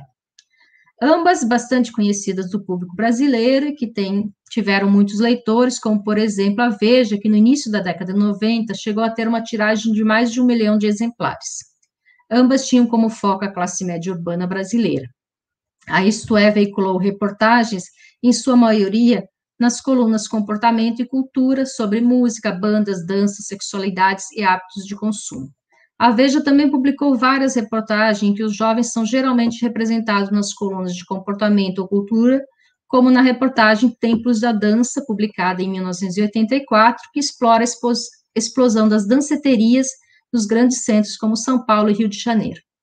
Além desses temas relacionados à cultura juvenil, essas revistas também dedicavam páginas para falar sobre saúde e educação, como ocorreu na reportagem Vício da Juventude, no ano de eh, 1986, que mostra os resultados de uma pesquisa realizada no Rio Grande do Sul sobre a juventude e o fumo, ou então a reportagem Ser ou Não Ser, na Isto É, de, em 94, que trata dos vestibulares, através dos quais, dizia a matéria, mais de 2 milhões de jovens passavam pelo drama de definir a profissão do futuro e entrar na universidade.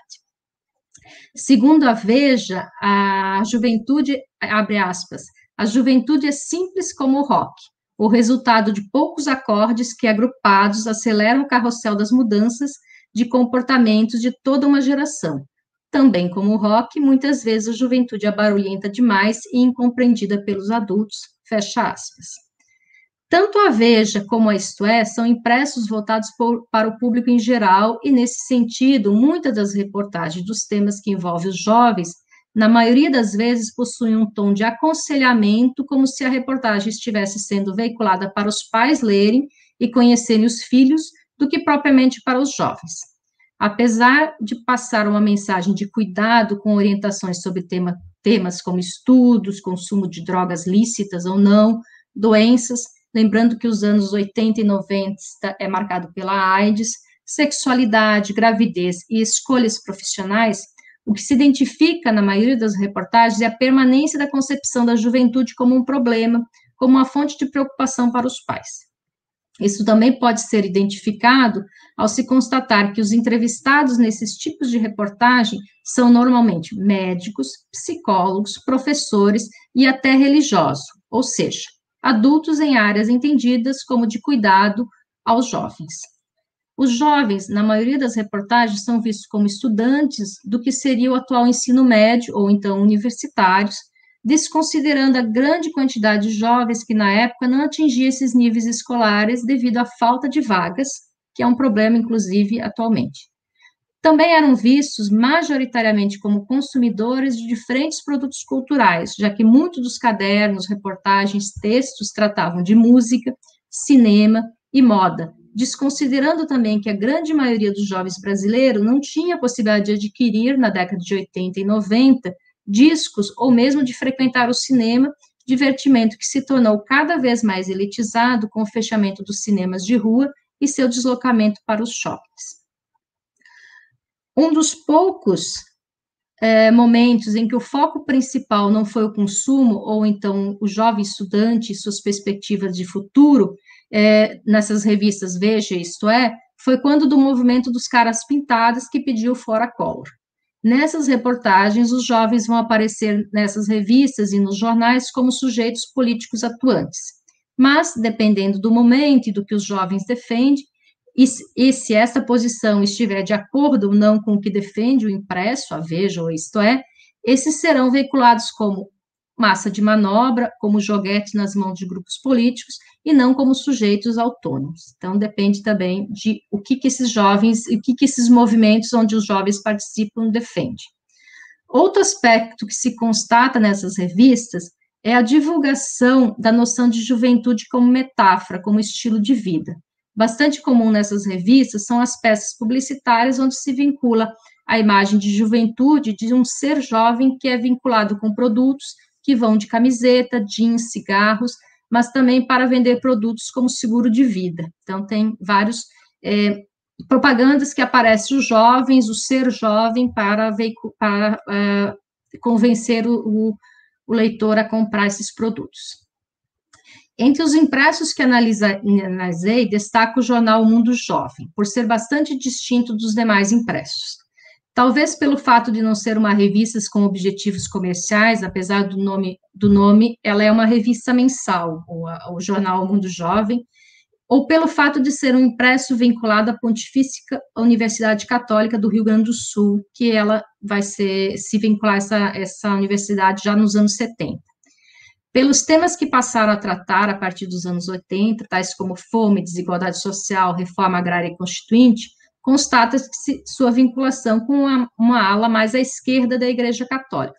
Mundo Jovem é um jornal, é uma revista que surge como já no, no final dos anos 60, passa todos os anos 70, é, já com o nome de Mundo Jovem, já vinculada à PUC, e ela vai se estender até 2000 e pouco, quando ela, ela fecha, e, não, e hoje, atualmente ela não tem nem mais em revista, é, no, em site, né? Então, ela fecha totalmente os, os seus trabalhos. Em abril de 1900 e 1980, a Mundo Jovem publica a Carta do Leitor que define os, abre aspas, ser jovem é uma capacidade de espírito, é ter no coração o desejo ardente de servir, lutar, vencer, é ter coragem de dizer sim quando a vida diz não, é sentir na alma a alegria de viver a vida dada pelo Criador. Ser jovem é ser é saber transpor as barreiras que a sociedade, os preconceitos, as pessoas impõem é saber lutar por um mundo novo, mais humano e mais digno. Então, a Mundo Jovem ela tem um, um discurso completamente diferente em relação ao ser jovem, por, até porque ela era voltada mesmo para os jovens, ela era uma revista vendida por assinatura, circulou pelo Brasil todo, e ela era muito utilizada pelos grupos de jovens vinculados à Igreja Católica. Diferente da maioria dos impressos que analisei, o, o, jovem que aparece no mundo jovem não é visto como problema ou como manipulável ou como preocupação. Isso deve-se provavelmente ao fato do público leitor ser o próprio jovem, não os adultos da família, como era o caso da revista Veja, isto é. O público é o jovem, mas não o jovem consumidor como o público das revistas vendidas em bancas e que visavam lucro. No mundo jovem estão presentes discussões diversas, muitos de interesse religioso, mas não somente. O foco das, da revista, nos anos 80, é, é, falar dos anos 80, porque nos anos 70 ela tem um foco e nos anos 90 ela tem outro foco completamente diferente. Então, nos anos 80 ela tem um foco bem específico. É a formação de um jovem que reflita sobre questões sociais e política, que atuem para a construção de um mundo mais justo. Em vários momentos, os jovens leitores são incentivados a refletir sobre questões políticas, tais como a elaboração da nova Constituinte, e a participar e se preparar para votar nas eleições. Outro aspecto que chama atenção é a presença dos jovens do campo e dos jovens pobres. Aspectos que aparecem muito raramente, quando não aparecem em jornais é, da grande mídia, como Folha de São Paulo, Estado, ou em revistas como a Isto é e a Veja, a questão dos jovens do campo e dos jovens pobres é, um, é uma, uma ausência muito grande. Concluindo, o que quis trazer para a discussão é a amplitude dos discursos sobre os jovens e diferentes impressos que circularam nos anos 80 e 90. Da mesma forma, como não se pode falar em juventude no singular, não é possível falar de uma única representação dessas juventudes que foram veiculadas na imprensa. As representações sobre as juventudes são distintas a depender do contexto, do tema, do impresso, ou mesmo dependendo das partes de um mesmo impresso. O que se constata é uma multiplicidade de juventudes que têm acesso às mídias, como, como produtor ou consumidor, de forma bastante desigual, da mesma forma como é desigual o acesso à educação, à autonomia financeira e à cultura.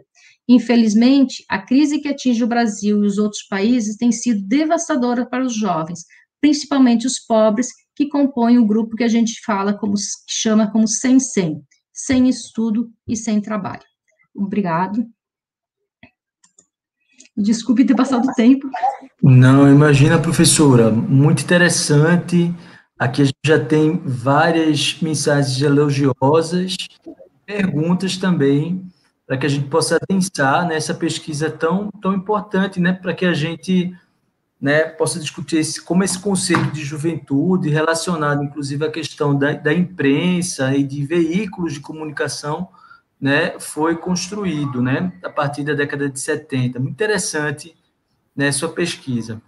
Então, a partir de agora, a gente vai né, é, para um segundo momento né, do nosso, da nossa mesa, do nosso painel, que seria a questão das perguntas né, e adensamento das questões né, a partir da participação de vocês. Nós vamos fazer o seguinte: como a professora Alejandra tem um, um compromisso familiar, né, que vai poder ficar conosco até 18h15, eu já vou fazer em bloco as perguntas para ela, ela já responde, certo? E já, nos, já se despede também, pode ser, professora? Fica bom? Aí, em seguida, tem perguntas para a professora Olga e perguntas para a professora Luciana, né? Então, vamos lá, né? São perguntas interessantíssimas aqui. Deixa eu já passar para para as primeiras questões voltadas para a professora Alejandra.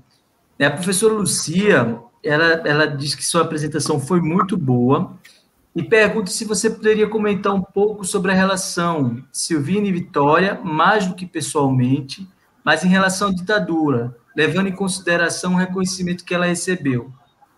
Ela ainda pergunta depois: você sabe se além da proibição da proibição, esses textos circularam entre os professores e, de alguma forma, se aproximaram dos seus alunos do jardim da infância? Essa é a primeira pergunta, certo? Há uma outra pergunta vinda da professora Silvia Arendt, né? Em que medida o discurso feminista de segunda, de segunda onda, entre aspas, enunciado nos anos de 1960, norteou esta produção literária infanto-juvenil feita pelas autoras argentinas? Essa é a, pergunta da professora Silvia. A Eliane é, comenta que é muito interessante a sua apresentação, porque podemos trabalhar os conceitos de história na educação básica, no ensino fundamental 1, a partir dessas leituras. A Renata Burgo diz o seguinte, professora, a reflexão que faço é sobre a literatura que o governo brasileiro lançou, comete, é, cometendo um atentado aos clássicos infantis, retirando o nome dos autores, fazendo adaptações dos autores brasileiros. E a professora Camila, né, que encerra esse conjunto de perguntas, diz o seguinte: professora Alejandra, excelente sua exposição, gratidão. Você poderia nos comentar qual é o lugar social dessas mulheres? Elas escreveram para que público infanto-juvenil? Qual é a entrada dessas obras no ensino público argentino? Por exemplo, uma vez finada a, a, a censura. Então, são questões importantíssimas, né, Alejandra? Fantásticas. E eu já passo... você também tinha. Sim, agradecido. É, sobre essas questões da. É, eu fiquei curioso em saber. Mas é, aí, se você teve né, acesso à documentação dos sensores. Se esses sensores, o que, que eles diziam, né? Que a gente, pela apresentação, a gente é, deu, é, deu para que a gente entendesse que as autoras sabiam a partir dos jornais, uhum. né? E esses sensores, é, o que, que eles defendiam ao proibir ou ao, ao, censurar né, essas obras infantis. Uhum. E uma outra questão que eu fiquei curioso, que não, não necessariamente tenha, é, é, pode, pode ter sido contemplado na sua pesquisa, mas as crianças que vêm do, das famílias populares, né? Uhum. Porque eu, eu percebo que, pela sua apresentação, que essa literatura circulou bastante na classe média, né, que existia até um consumo de literatura infantil, né? E como é que se dava em relação às, às crianças populares e de outras classes sociais? Uhum. Sabe que eu fico aqui imaginando, minha gente? Imagina quando esse livro estiver pronto. Só essa mesa dá uma aula, né, Luciano? Um texto seu, da professora Olga e da professora Alejandra, já dá uma, uma aula sobre mídia, imprensa, concepção de infância. Estou aqui doidinho para que a gente publique essa obra, para que a gente circule também essas pesquisas tão boas. Gratidão, professora Alejandra. Não, Passo para a senhora, né? E Bom, primeiro... que a senhora faça suas considerações finais Sim. Né? e vá para o seu compromisso familiar. Então, o primeiro é agradecer outra vez, né, a, a, também estar ao lado de colegas eh, que eu admiro tanto, né, que formam parte da minha bibliografia, então um orgulho para mim poder participar com, com professores, realmente é uma honra muito grande. E, e professores. e então, passando também para dizer o privilégio que é receber esses comentários, né, de pessoas que estão pensando de modo tão sutil, que me ajudam tanto a continuar, né? Que nesse contexto de pandemia a gente está tão sozinho e estudando e pesquisando tão sozinho, que realmente essas perguntas já me iluminaram, é, já despertaram outra vez né, o impulso da curiosidade de continuar. De repente você já não sabe para onde seguir, né? Às vezes, e vocês me ajudaram muito, todas as perguntas. Então, começo pelo início, a pergunta da professora Lucia. Você pode colocar novamente, porque eram perguntas muito complexas, aí eu vou respondendo cada uma. Por gentileza, é, Antônio. Então, a primeira pergunta da professora Lucia é assim, a relação de Silvina e Victoria, muito complexa, a questão é muito complexa realmente. Eu encontrei um livro que Silvina publicou, Silvina Ocampo publicou como um manual é, escolar durante a ditadura, um livro que tem um horizonte militarista, realmente de defesa de uma série de, enfim, é a santa das Forças Armadas, aparece aí um horizonte. Então, há uma contradição, né? Como todos temos, não só nós no dia de hoje, mas também os, as personagens históricas, essas mulheres intelectuais, também participavam desse mundo contraditório. Então, Silvina, nós vemos, ao mesmo tempo, uma tensão entre uma literatura, em muitos sentidos, transgressora das ideias sobre o feminino, ah, das ideias, inclusive, sobre a infância, porque estava dando agora uma disciplina e meus alunos mencionavam, né, como aparecem crianças más, crianças perversas em Silvina Campo, né, e isso aparece, inclusive, na literatura infanto-juvenil dela. Então, a transgressão dos padrões de gênero, de idade, era muito grande, né, essa ideia da, da criança das classes médias e branca como inocente, está é, tá ausente na, na literatura tanto para adultos quanto para crianças de Silvino Campo. Ao mesmo tempo, você tem um livro escolar que se chama Canto Escolar de Silvina, publicado no momento da ditadura, com uma foto, né, com a capa dele, e justamente celebrando a Copa que aconteceu na Argentina ao mesmo momento que a ditadura, e que foi o emblema da ditadura, né, como orgulho nacional. Então, aderindo a um ideário nacionalista, militarista em algum sentido, porque, como eu falei, então, muito complexo. Ao mesmo tempo, ela assina essa carta que eu mostrei na apresentação, apoiando a liberação do editor de, do livro de la Flor, que era uma editora que foi censurada pela ditadura e ele foi encarcerado junto com sua mulher e com a editora da coleção infantil, que aparecia o conto que foi censurado, que é Amélia Hanois, que é uma figura importantíssima, também editora, não foi escritora, mas editora, e ela escrevia teoria também sobre literatura infanto-juvenil, uma pioneira absoluta. Ela também foi encarcerada justamente pela inclusão desse livro que foi censurado nessa coleção. E a Silvina sai e assina essa carta para que eles sejam liberados, ou seja, vocês veem, né, a contradição e as tensões ao interior de uma mesma intelectual. Então, é, assim, é isso que eu posso dizer, né? A contradição viva, né? Entre, enfim, as tensões ao interior de uma intelectual. É isso que eu posso dizer de Silvina e Victoria. A Victoria era uma grande admiradora de Maria Helena Walsh. Ela foi assistir alguns dos espetáculos infantis dela e ela fica admirada dessa, dessa transgressão, dessa, desse espetáculo infantil que interpela as crianças de modo absolutamente dinâmico, ativo, né? Essas crianças que vão ao espetáculo e ela fica quase emocionada, né? De como eles estão rindo, cantando. E não era aquela coisa, digamos assim, viciosa que temos hoje em dia, né? Se vocês veem espetáculo, os espetáculos de Maria Walsh, são absolutamente minimalistas, né? Eu acho que então ela realmente é um mercado cultural infantil muito sofisticado. Por isso eu quero dizer que por isso eu falo que elas que elas articulam cultura de massas e cultura e, cultura, e alta cultura, né? Porque realmente uns poemas que qualquer que qualquer escritor ou crítico literário ao mesmo tempo pode analisar e está lá interpelando as crianças e está se inserindo no mercado. Então, é um momento único realmente para a cultura infanto-juvenil na Argentina, né, de, de como eu falo. Então, isso para falar de Victoria e Silvina. Qual era a outra pergunta da professora Lucia?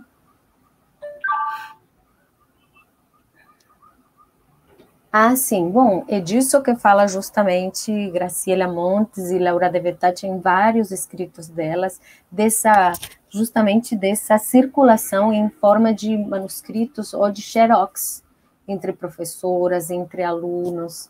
É, então é interessante porque elas são diplomadas, são diplomadas no ensino superior e houve outra pergunta sobre esse lugar, o lugar delas como né, o lugar delas na sociedade. Então, o lugar delas na sociedade é muito interessante, porque diz respeito a essa inserção, a dessa, justamente dessa geração, dessas jovens na, na, na, no ensino superior, nos anos 60 e 70, né, dessa emergência de uma, de uma, uma, uma né, um número cada vez maior de mulheres no ensino superior, nos anos 60 na Argentina, das classes médias, que estudam e depois vão lecionar. Elas mesmas, a Graciela Montes, Laura de várias delas foram professoras em vários níveis, né, do ensino médio, no ensino, eh, no, nos, nas escolas normais, eh, formação de professores, então, é isso também é muito significativo, a relação delas com o espaço da, educativo, com as instituições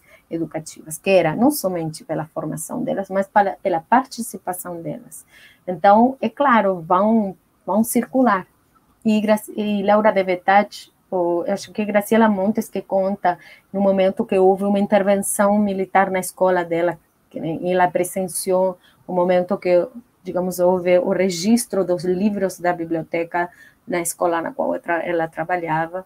E então é muito interessante ver como a indústria cultural está neste momento tão é, ligada com o espaço escolar, né? Indústria e escola. E, depois, a, a, segunda pergunta era da professora Silvia, com relação ao feminismo da segunda onda. Fantástica pergunta a professora Silvia foi exatamente no ponto, e esse é o ponto, né? Esse é o ponto que eu quero discutir. Está aí, está aí sendo discutido.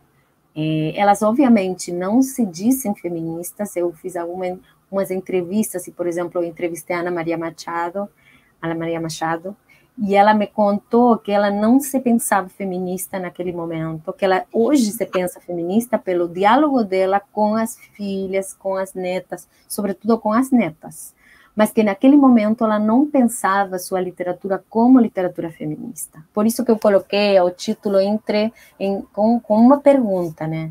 Então, até certo ponto é é uma é, é um, é né, é, é, é, uma escolha crítica pensar elas como feministas ou não. Elas não se pensavam como feministas e, no entanto, hoje em dia, elas sim se pensam como feministas. Né, e pensam sua literatura como uma literatura infanto-juvenil feminista, que escreveram naquela época. Então, é um pouco brincar com as cronologias, né, com o anacrônico, com o anacronismo, porque elas não se diziam feministas, e, no entanto, vemos estratégias, representações da mulher, é, espaços de, de, intervenção no feminino, inclusive a questão da juventude, para dialogar com a apresentação da Luciana, aparecem várias dos contos, né? Não sei se vocês leram, talvez vocês conheçam Beto o Carneiro, né? O conto para crianças de Ana Maria Machado, aparecem, né? É, Beto, você leu, professora Luciana? Porque ele é muito significativo para pensar nisso, né? Aparece Beto Carneiro é um hippie.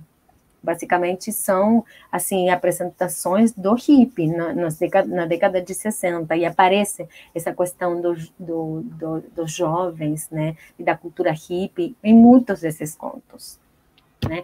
Então é indudável que a, a, a, a segunda onda está lá, né? Por exemplo, num conto de Laura de Betach, é, ela, ela decide é, justamente é, um, um, é, sobre uma, uma, um, um, ratinho, uma ratinha, na verdade, né, que quebra com os padrões de a, educação dos pais, pais ratinhos dela, e então decide formar uma união totalmente diferente. Então, a Ratinha tem uma nova proposta sobre gênero e está enunciado lá. Feminismo da segunda onda está lá enunciado, só que elas não se dizem feministas. Então, até certo ponto, por isso coloquei a pergunta e por isso falo do anacronismo deliberado, né? De podemos, elas se pensam hoje como feministas. Então, pensamos esses esses textos históricos desde o presente como feministas ou não. Né? Então, aí é uma espécie de brincadeira que eu coloquei no paper e por isso era um pouco o diálogo. Eu acho que está lá, mas elas não é o emblema delas, não é a marca dela, até porque elas já sofriam insuficientes censuras e preconceitos, né? É, então, elas não se dizem marxistas, nem feministas, nem comunistas, nem nada disso, mas ao mesmo tempo elas são acusadas de uma série de questões. Então, ah, depois. É, a, Professora, a... sem querer interromper, é que eu pulei uma pergunta do Daniel e ele aqui no bastidor me cobrou. Ah, tá Aí bem. ele disse: eu não posso deixar, porque é uma pergunta interessantíssima. Havia alguma autora adolescente que teve alguma evidência editorial na imprensa na, nesse período pesquisado? A senhora tem esse conhecimento? autora adolescente que teve uhum. seu, seus textos na imprensa publicados? Essa uhum. pergunta. Bom, a própria, a própria Maria Helena Walsh publicou seu primeiro livro, seus primeiros poemas ela publicou na imprensa desde adolescente, sem lugar a dúvidas, e ela ganhou o segundo lugar no prêmio municipal. Olha o preconceito sobre o jovem. Ela ganhou o segundo prêmio municipal de poesia porque falaram que ela é muito jovem para ganhar o primeiro lugar. Interessantíssimo. Graças a isso, ela foi assim parabenizada, reconhecida por Borges, Pablo Neruda, e ela viajou a Miami para morar com Juan Ramón Jiménez, que morava na, naquele momento na Universidade de Maryland, que era o grande escritor e poeta hispano-americano. Né? Então, ela é um paradigma da jovem transgressora, porque depois disso ela não só ela abandona o, o, o, a literatura com maiúsculas e se dedica às crianças, né? E não só faz isso, ela também sai numa viagem é, no qual é, com, com uma outra mulher, né? Sai numa viagem pelo mundo fazendo cabaré e, né? E cantando no Crazy Horse francês. Ela inclusive fala enfim, tem anedotas com a Edith Piaf, enfim, muito interessante a trajetória dela e fala muito sobre essa essa imagem do essa essa figuração do hippie, do jovem hippie ou da jovem hippie que abandona, né? Ela abandona o prestígio literário porque Borges, Pablo Neruda, Juan Ramón Jiménez, os grandes poetas é, é, hispanos admiraram ela ela com 17 anos né? E ela rejeitou depois e abandonou e realmente foi procurar o sonho dela, que era cantar no Crazy Horse, junto com uma amiga. E voltou feita uma artista e, enfim, como eu mostrei, uma verdadeira produtora cultural para crianças, né? É, depois vinha uma pergunta que falava do governo, e eu não lembro exatamente. o governo brasileiro. Mas eu não sei se Renata está falando do governo atual ou do governo ditatorial. Com respeito é, ela, ela, ela, na verdade, faz uma reflexão, né, professora? Ela faz uma reflexão, ah. trazendo essa, essa questão. Agora, a Camila, ela diz o seguinte, professora, é, você poderia nos comentar qual é a, o lugar social dessas mulheres? Elas escrevem para qual público infanto-juvenil? Qual é a entrada dessas obras no ensino público argentino? Por exemplo, uma, uma vez né, fim da censura. Essa pergunta é fundamental, porque elas, uma vez que terminou, digamos, o, o, período de censura, embora, como eu falei, Maria Helena Walsh deixa de fazer espetáculos, deixa de gravar novas músicas, digamos, elas viram realmente um emblema da democracia. A Maria Helena Walsh forma parte da comissão é, de, é, das comissões de pesquisa sobre os desaparecidos, do, dos, do Nunca Mais. Né? É, então, elas viram realmente emblemas, inclusive quando as coisas são mais complexas, como eu falei, né? Silvina Ocampo, já contei, e Mariana Walsh também no artigo, na, na crônica que eu citei, sobre o Jardim País de, de Infantes, no qual ela, ela nessa crônica ela vai criticar a censura e por isso justamente virou um emblema e também foi incluída na lista negra. Ao mesmo tempo ela falava que embora é justificado, ela falava, embora é justificado o golpe pelo caos que estávamos vivendo, e continua o raciocínio. Aí existia uma tensão também, né, entre, então é justificado ou é mas acontece justamente em parte da construção da memória. Ela ficou né, associada à democracia, porque de fato ela agiu concretamente publicando esse artigo contra a censura, mas ao mesmo tempo então, há uma, uma, verdadeira polêmica em torno de Maria Helena Walsh, o posicionamento dela em relação à ditadura. Rios de tinta já correram, não sei se rios, porque também não, é, não tem tanta coisa escrita sobre elas, é, mas houve já uma espécie de disputa nos meios de comunicação sobre essa questão, né, o posicionamento dela, que tem a ver, na verdade, com o antiperonismo dela né, o antiperonismo, essa foi outra outra das causas que Mariana, que fez a Mariana Walsh se exilar para a França. Então aí ela entra numa disputa muito acirrada que tem a ver com a cultura e política argentina. Então, não sei se eu respondi. O lugar social dessas mulheres, eu, eu acredito que, porque a segunda parte da pergunta era sobre. Ah, sim, sim. Então, eles realmente viraram. Por exemplo, eu, quando fui na escola, no momento posterior à volta da democracia, isso era uma festa, né? Eu, um parte, faço essa pesquisa e minha entrada à infância e à literatura infantil-juvenil tem a ver justamente porque eu vivi aquilo, né? A explosão absoluta que houve no momento posterior à democracia. E a escola era justamente o espaço de volta do público, a redemocratização era é, assim, elas iam nas escolas, elas conseguiram voltar para a escola depois de ser banidas, né? E, e os textos delas circulavam, era uma coisa, né? Um espaço público que se criou lá a partir justamente delas e dessa literatura que era uma literatura diferente da literatura traduzida de, né, dos clássicos, era uma literatura que falava dessas realidades, da própria é, Latinoamérica, né, de, de, tinha outra característica. Então, é essa literatura virou um emblema da redemocratização depois, e da diversidade cultural, e desses novos imaginários de gênero. Ah, e é, a última era da sua, né, é, professor Humberto. É bastante interessante também as colocações.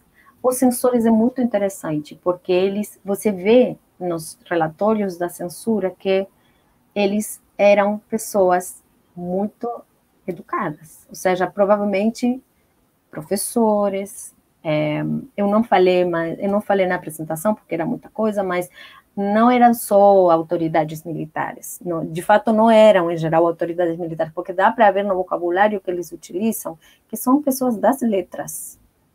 E em uma das, dos escritos, Graciela Montes narra que ela sabia quem era, que tinha denunciado os, os textos dela, porque muitas vezes eram outros escritores. Ou seja, como acontece hoje também, existem tensões. Não podemos falar de um modo homogeneizante da literatura infantil-juvenil naquele momento, porque muitas vezes eram outros autores, outros professores, outros intelectuais da infância, né, que denunciavam essas obras e também que faziam outros relatórios tá bem? Então, a, a, realidade hoje também, hoje vemos isso, né, é mais complexa do que parece e naquele momento também era. Então, você vê aí que o vocabulário é daquele que conhece, só que discorda. E consideravam realmente, é, enfim, discordam. Existe a discordância, mas naquele momento foi usada justamente desse modo. É, com respeito às classes sociais, é, sim, digamos, a, o horizonte é dessa classe média, mas ao mesmo tempo há uma, uma, um surgimento, a possibilidade dessas outras classes sociais, porque eu não, não citei aqui, mas, por exemplo, o caso de Cuentos del Chiribitil. Essa é uma diferença com o caso do Brasil, né? É, no caso do Brasil, as década, a década de 60, 70 ainda, a, né, Cândido, Antônio Cândido já fala disso, né? Ainda é uma, uma, uma cultura letrada é, é restrita às classes médias, realmente. No caso da Argentina é um pouco diferente. E essas coleções, como é o caso do Centro Editor da América Latina, Boris Pivakov fala que o editor, né, fala que o livro deveria valer o mesmo que um quilo de pão, né, o livro. E era realmente assim. E, e, você vê isso também hoje em dia, eu noto muito essa diferença, né, do, da importância do livro barato na Argentina, e nessas coleções era muito importante para Boris Pivakov, pelo qual justamente os livros, eu lembro isso na minha infância, né, se quebra muito fácil por causa das edições baratas, né, eram vendidos em postos de jornais, não eram livros de biblioteca, nem só de livraria, eram vendidos em postos de jornais, e essa é a consigna da, da editora, assim, mais livros para mais, né, mais livros para mais, e essa era a ideia, né, um horizonte realmente democratizante, né, democratizante, ir além das classes médias, não se restringir às livrarias, às bibliotecas, mas ir além, ir ao posto de jornal, circular entre, entre as pessoas de, de formas baratas. E por isso a dificuldade do financiamento do projeto do Centro Editor da América Latina e, em particular, da, ele realmente quebrou várias vezes, os autores muitas vezes não recebiam nada por, por escrever, eh, trabalhavam ad honorem, então essa era a, esse era o contexto, realmente um contexto muito precário, mas ao mesmo tempo de, profission, de profissionalização precária, e ao mesmo tempo um horizonte possível de democratização, de chegar às crianças, como eu falei. E essa era uma diferença com o mercado cultural também aqui no Brasil, que era bem mais restrito, e você vê que possivelmente, eu tenho essa hipótese, possivelmente a, a ditadura censurou menos obras que também são radicalmente transgressoras, né?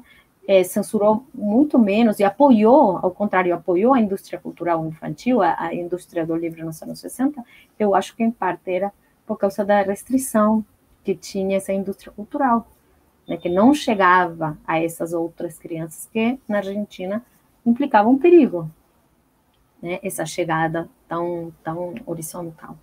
Enfim, termino agradecendo muitíssimo, foram incríveis as perguntas, fico cheia de, de estímulo e peço mil desculpas por não poder escutar as respostas das professoras. Eu gostaria muito, vou, vou, vou assistir pelo YouTube para ver também, e, mas são essas obrigações familiares que a gente tem quando tem filho pequeno. Agradeço muitíssimo, muitíssimo a todos pelas perguntas, pelas colocações e as professoras pela companhia e o professor Humberto também. Muitíssimo Nós que agradecemos, professora, e não seria diferente, né? Criança é prioridade absoluta. Imagina a gente não permitir o nosso encontro que isso acontecesse, né? A prioridade, de fato, são os pequenos, os pequenininhos, né? Gêmeos. Satisfação grande e fique bem, e a gente vai se ver nos, nas, pro, nas próximas atividades, nos próximos encontros do nosso GT. Né? Muito obrigada. Te agradeci, professora Alejandra. Agora vamos, então, fazer as perguntas para a professora Olga. Felicidade, professora. Um grande abraço. É, vamos fazer, então, as perguntas para a professora Olga e para a professora Luciana. Né? Eu passo, então, já é, é, para a professora Olga né, é, informando que a, que a fala dela foi é, repleta de muitos elogios, de muitas né, é, felicitações. O El, Elvio Mariano, ele, ele pergunta para a professora Olga qual o papel da revista Infância nos debates da Constituinte de 33 e 34, pois a Cruzada por Promenor foi muito ativa nos debates, principalmente no estado de São Paulo e, lhe e manda um grande abraço para a senhora.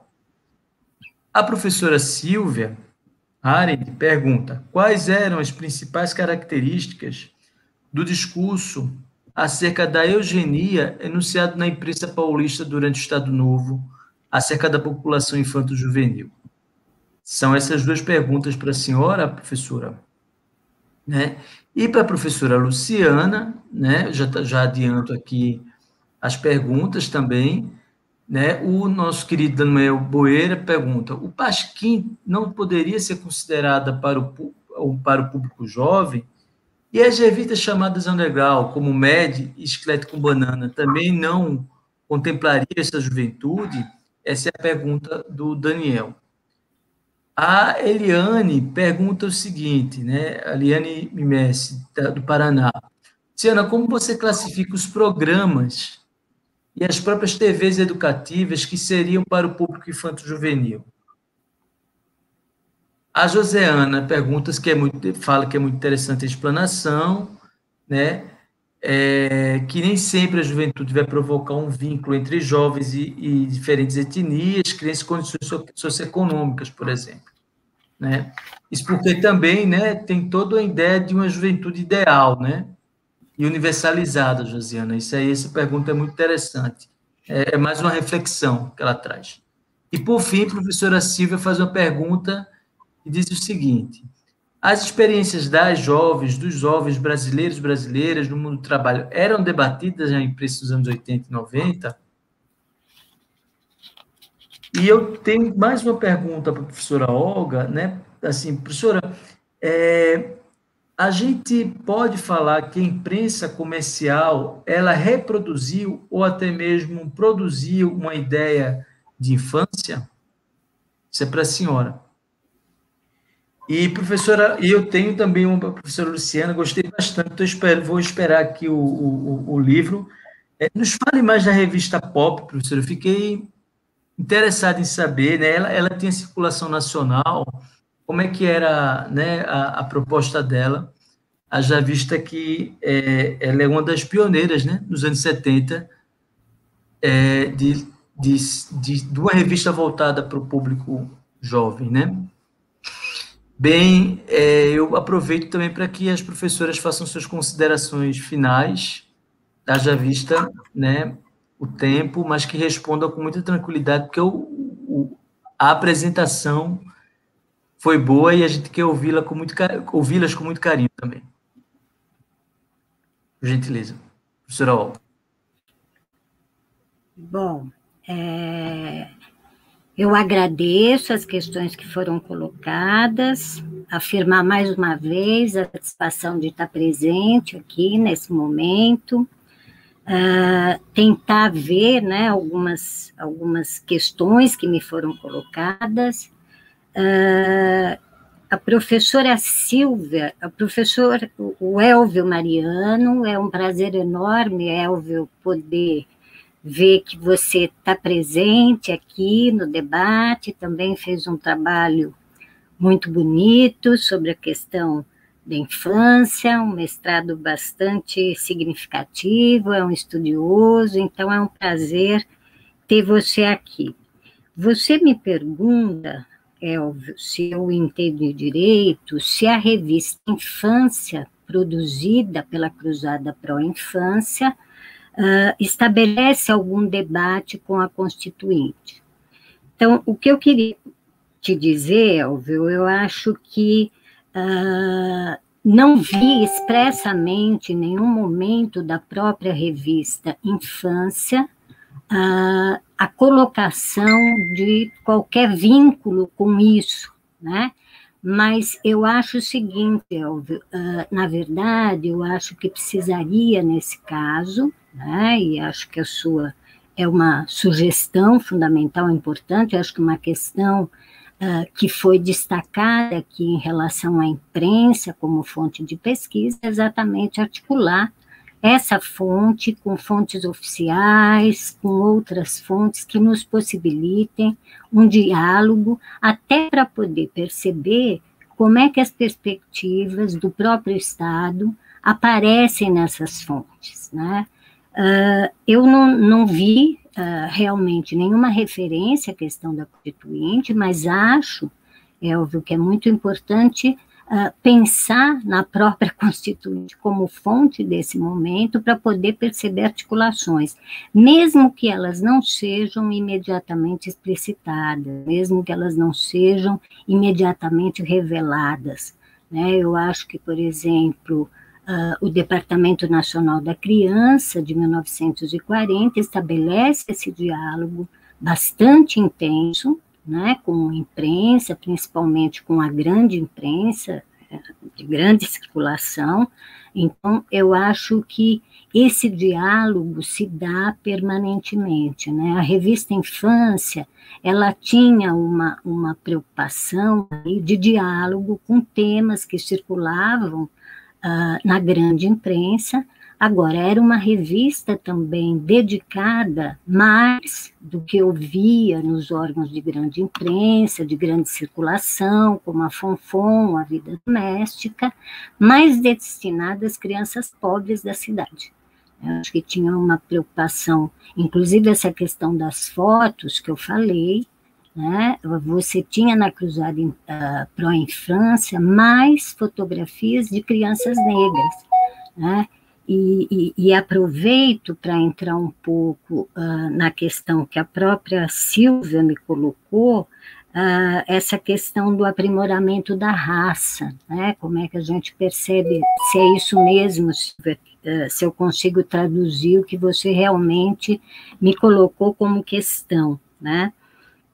Uh, acho que uh, em diversos momentos desses órgãos de imprensa, principalmente a valorização uh, bastante acentuada dos concursos de robustez infantil, né? os concursos de robustez infantil que tinham essa perspectiva, e a revista Infância, isso aparecia enfaticamente, né?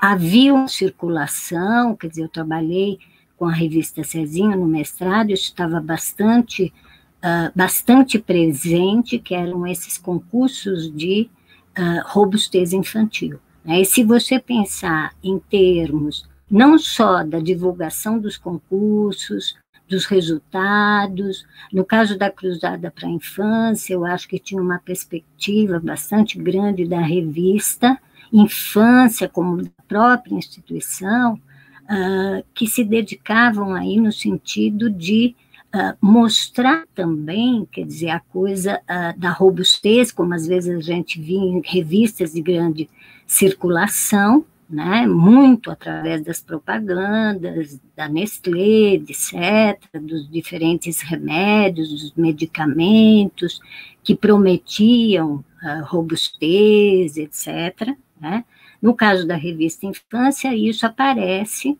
muito em termos das próprias crianças pobres, que, que eram as mães, principalmente, né? Uma das coisas que eu acho importante quando a gente estuda a imprensa é perceber um pouco a mãe, a figura da mãe, como uma ponte entre imprensa, entre Estado, né? O próprio Auxílio Lenharo, lá em Sacralização da Política, a própria Silvia coloca nisso, isso num, num dos textos dela, né, como é que há um, um, propósito aí de uma reprodução, muitas vezes, autoritária do papel feminino uh, na família. Né? Claro que a gente uh, não diz que isso é uma questão que a gente. São projetos, são intenções, eu acho que quando a gente fala sobre a imprensa, a gente não está dizendo que esses projetos e intenções são absolutamente uh, confirmados ou verificados ou né, consentidos, eu acho que é construção, projeto de educação, um investimento bastante forte na educação nesse sentido, Uh, e principalmente um investimento muito forte na superação dos desvios. Né? A gente sabe a questão da própria uh, da criança na rua, né? como se dizia mesmo nesse período, o quanto havia uma condenação bastante explícita, daí um investimento nas instituições de acolhimento, o Elvio uh, trabalhou isso também lá na pesquisa dele, quer dizer, instituições uh, que representavam aí uma formação para o mundo do trabalho, etc. Né? Eu acho que uma perspectiva aí desse aprimoramento, Silvia, a gente percebe em diferentes momentos, em diferentes materiais, a gente percebe na propaganda, a gente percebe nos textos, a gente percebe uh, no concurso, e principalmente quando a, a gente observa né, nessa grande imprensa, o privilegiamento mesmo das crianças das crianças brancas, né? Como eu disse, a Cruzada para a Infância, nesse sentido, a revista Infância tinha um outro perfil, já que ela atendia uma população pobre da cidade, mas é importante afirmar, como a gente vê em outros textos, né? Assim, a tentativa de uma educação do dia a dia, né? Quer dizer, não é só a educação que se, a educação formal, a escolarizada, etc., mas como o cotidiano das relações uh, investe nessa, nessa educação. Né? Quer dizer, nesse sentido é o que a gente muitas vezes diz, você retira o saber fazer, né? a gente sabe que principalmente em termos de uma educação racional, científica, etc., quer dizer, tem saberes populares que são desprezados, que são desautorizados né, entre a ciência, quer dizer, infelizmente a gente vê no mundo presente, às vezes a gente pensa que estamos vivendo um retrocesso, estamos reproduzindo práticas excessivamente autoritárias, mas de qualquer forma, né, que a gente vê hoje tanto essa questão da valorização da ciência, do conhecimento, para a gente superar as dificuldades da própria pandemia, né? Mas como você vê ali um investimento forte nessa questão, a presença de intelectuais nesses meios de comunicação era uma presença fundamental, né, para pedagogos, psicólogos, professores, etc., num investimento intenso dessa educação para corrigir problemas e evitar uma infância desvirtuada né? quer dizer, evitar, inclusive, uma das coisas que a gente vê hoje, né, quando a gente vê a experiência de Jacarezinho, quando a gente vê uma violência policial extremamente forte, né, na periferia da cidade, a gente vê no Rio de Janeiro, a gente vê aqui em Paraisópolis, a morte muito grande de, de jovens pobres das favelas, né, mas é importante a gente, a gente observar, então, como você uh, tem uma educação que muitas vezes acaba passando, né? embora você tenha aí ideólogos, etc., que vão falar em, em, torno da necessidade de uma educação formal até para os mais pobres, né? mas como você tem, às vezes, constrói perspectivas hegemônicas, excludentes, etc. Né? Então, acho que em, em, relação ao. Não sei se eu contemplei as questões do Elvio e da própria Silvia, é, e, e o, o, o, Humberto me perguntou se a imprensa comercial reproduziu uma imagem, é isso, Humberto?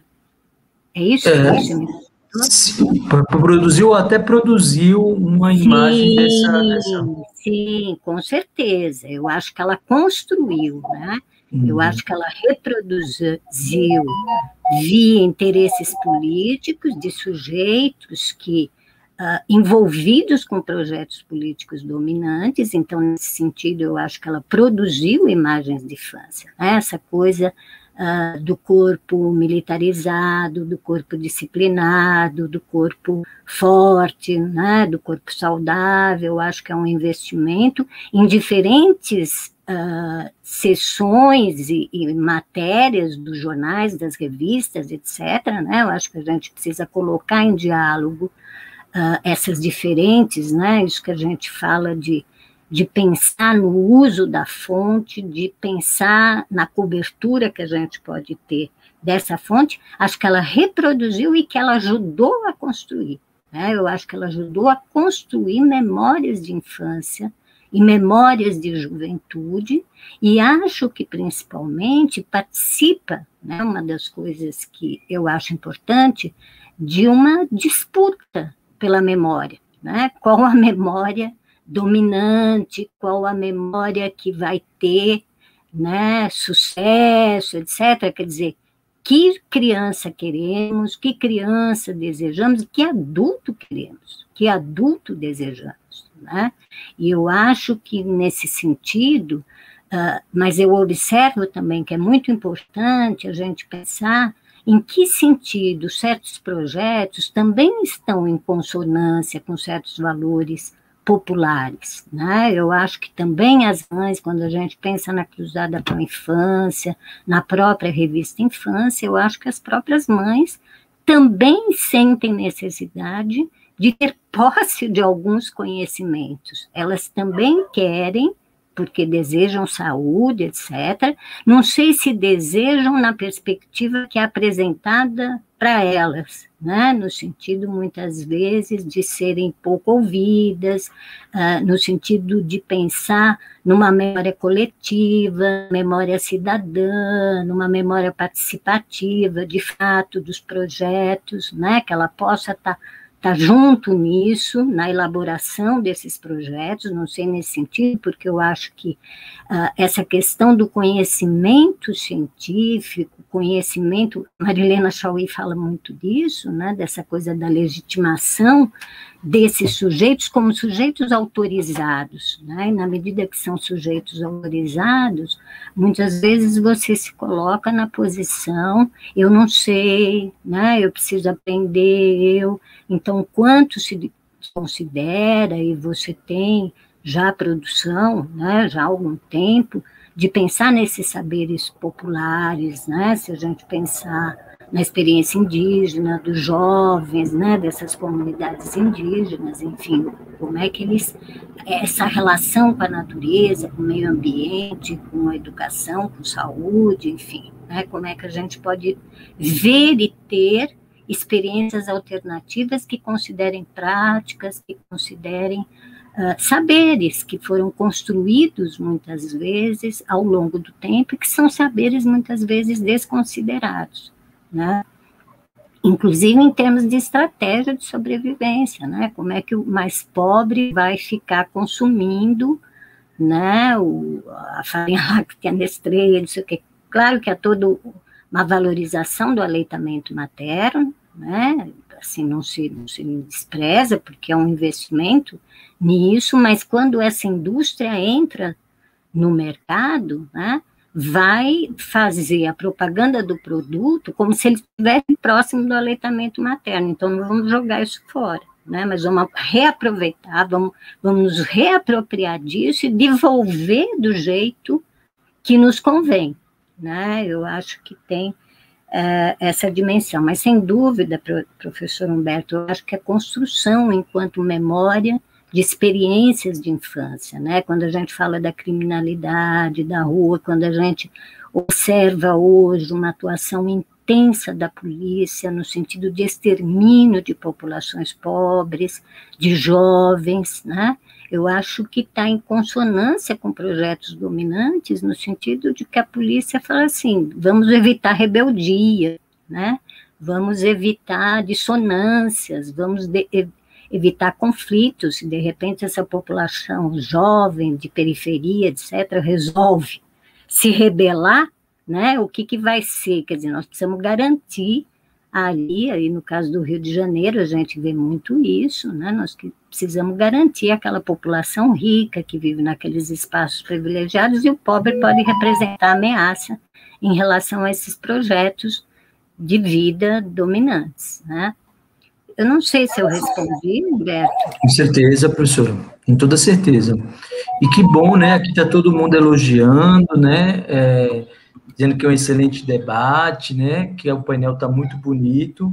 E vamos então terminar, né, em grande estilo com a professora Luciana, né? Depois de uma grande explanação da professora Olga, vamos para a sua professora, com certeza.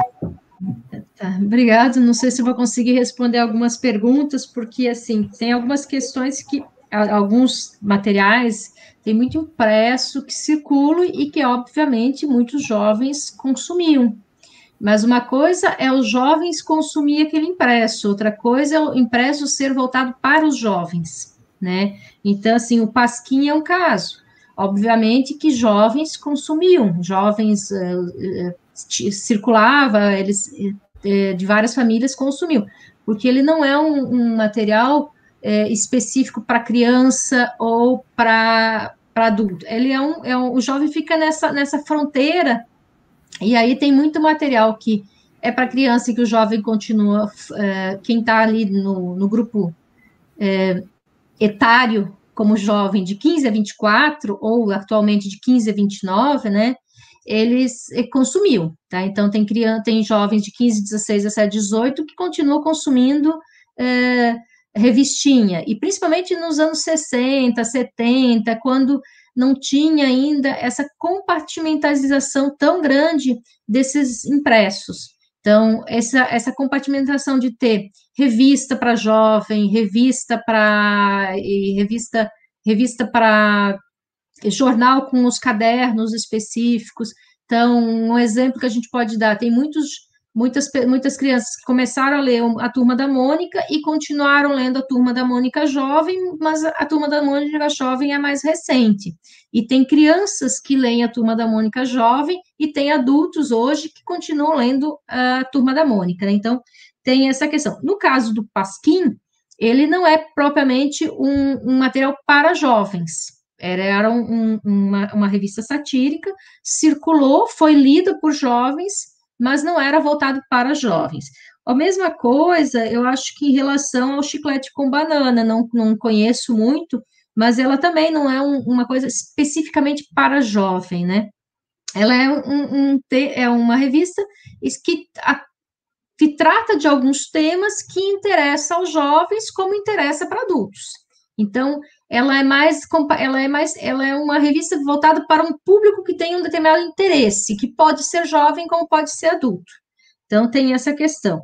No caso da MAD, ela já é uma revista que surgiu nos anos 50 na, na, nos Estados Unidos. Nos anos 50 ainda não tinha nem essa questão da, da, do teens, né? Também é uma década que vai surgir essa, essa, essa compartimentalização que no Brasil vai acontecer lá pelos anos 80, nos Estados Unidos vai, vai começar antes, vai começar lá nos anos 50, 60, e que vai surgir as várias revistas voltadas para diferentes públicos. Mas a MAD, ela, ela provavelmente também é a mesma questão, ela é para criança, mas depois ela vai ter um, é, ela tem um, um, uma estética infantil, é, tem o, personagem não é propriamente jovem, é uma uma, uma, uma criança que está um pouco nessa transição, mas que deve ter, dependendo também de cada fase, porque como é uma revista muito extensa, ela deve ter várias fases. Isso também é uma coisa que tem que ser é, analisada especificamente para cada fase é, como é que essa, se os temas interessam aos jovens, porque nem sempre as revistas estão lá explícito para jovem, como Folhatim, Pop, e aí que lá no editorial já diz que é voltado para esse público, né? Então tem revistas, quadrinhos, é, jornais que eles são lidos, mas ele não está explicitamente nos seus editoriais voltado para o jovem.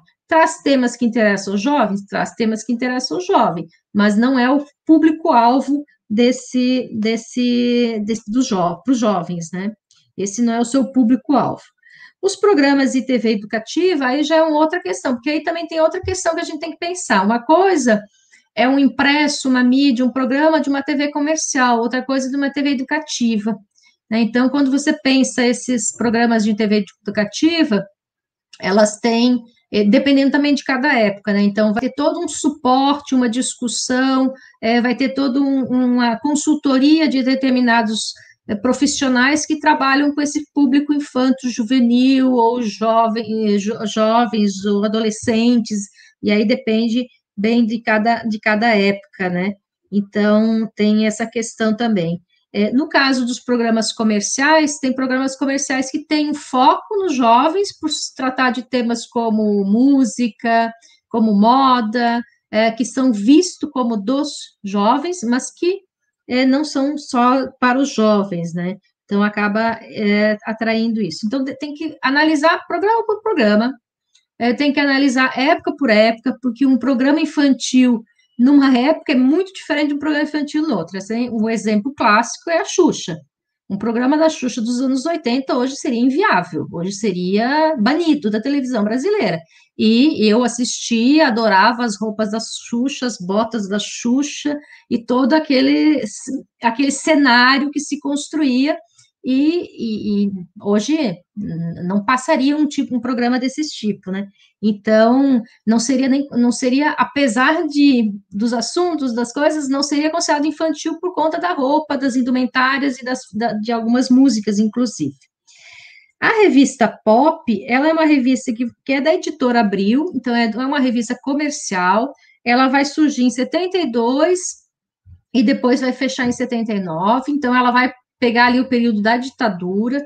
Ela é uma revista que tem muitos, muitos reportagens sobre entrevistas com música, com cantores, é, Roberto Carlos, vários músicos. Tem uma parte de moda, é, mas ela é uma revista que vai durar pouco tempo e que vai tratar desse, é bem esse, esse, esse perfil comercial, música, moda, é, talvez alguma coisa de literatura, não cheguei a, eu não, não cheguei a analisar, eu, só, eu citei aqui mas eu não cheguei a analisar a revista Pop, né? Então ela tem esse perfil voltado. Mas ela não tratava de questões políticas. Por quê? É a editora Abril, estamos numa ditadura, e a editora Abril é, é alinhada, né? Então ela não vai tratar de questões políticas nesse momento, né? Então, tem uma questão, no caso da questão do trabalho, por exemplo, depende muito da imprensa. O Mundo Jovem, o jornal Mundo Jovem, trabalha, discute bastante a questão do trabalho, é, o trabalho no campo, o jovem no campo, a questão da falta de trabalho para o jovem, da formação para o trabalho, mas aí é, tem jornais que já não discutem isso, a menos que tenha uma notícia sobre, por exemplo, discussão da lei do estágio, aí vão, vão discutir no, a partir da, da ótica do trabalho, porque se é estágio, está vinculado ao jovem, porque tem sempre essa vinculação. Se é formação educacional, se é preparação para o trabalho, sempre tem essa ideia de que é voltado para o jovem. O estágio não é voltado para um adulto, né? E aí a gente tem que pensar uma outra questão.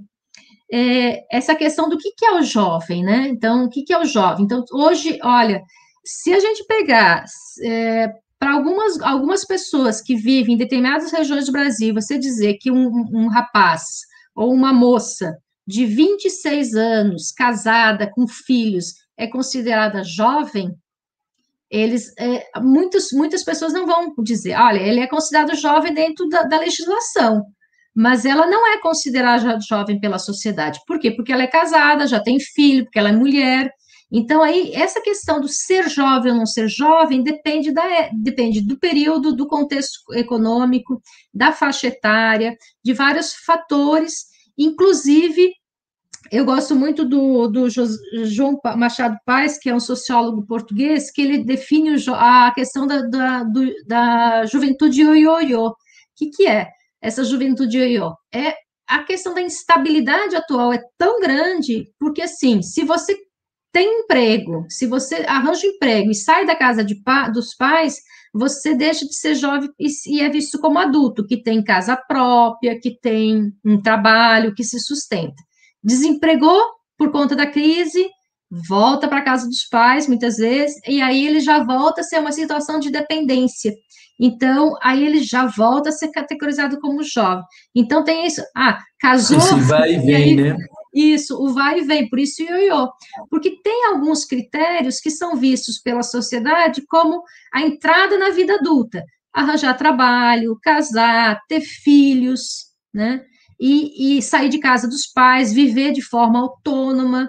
Então, no momento que você de, vai assumindo isso, você vai, ah, eu tenho trabalho, eu tenho casa própria, eu tenho, eu sou casada e tenho filhos, eu posso ter 20 anos e já ser considerada adulta, apesar da idade de, de ser jovem.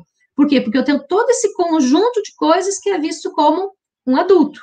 Não estou mais em preparação, eu já sou uma mãe de família, casa pró que tem que mora por conta própria, de aluguel ou não, né?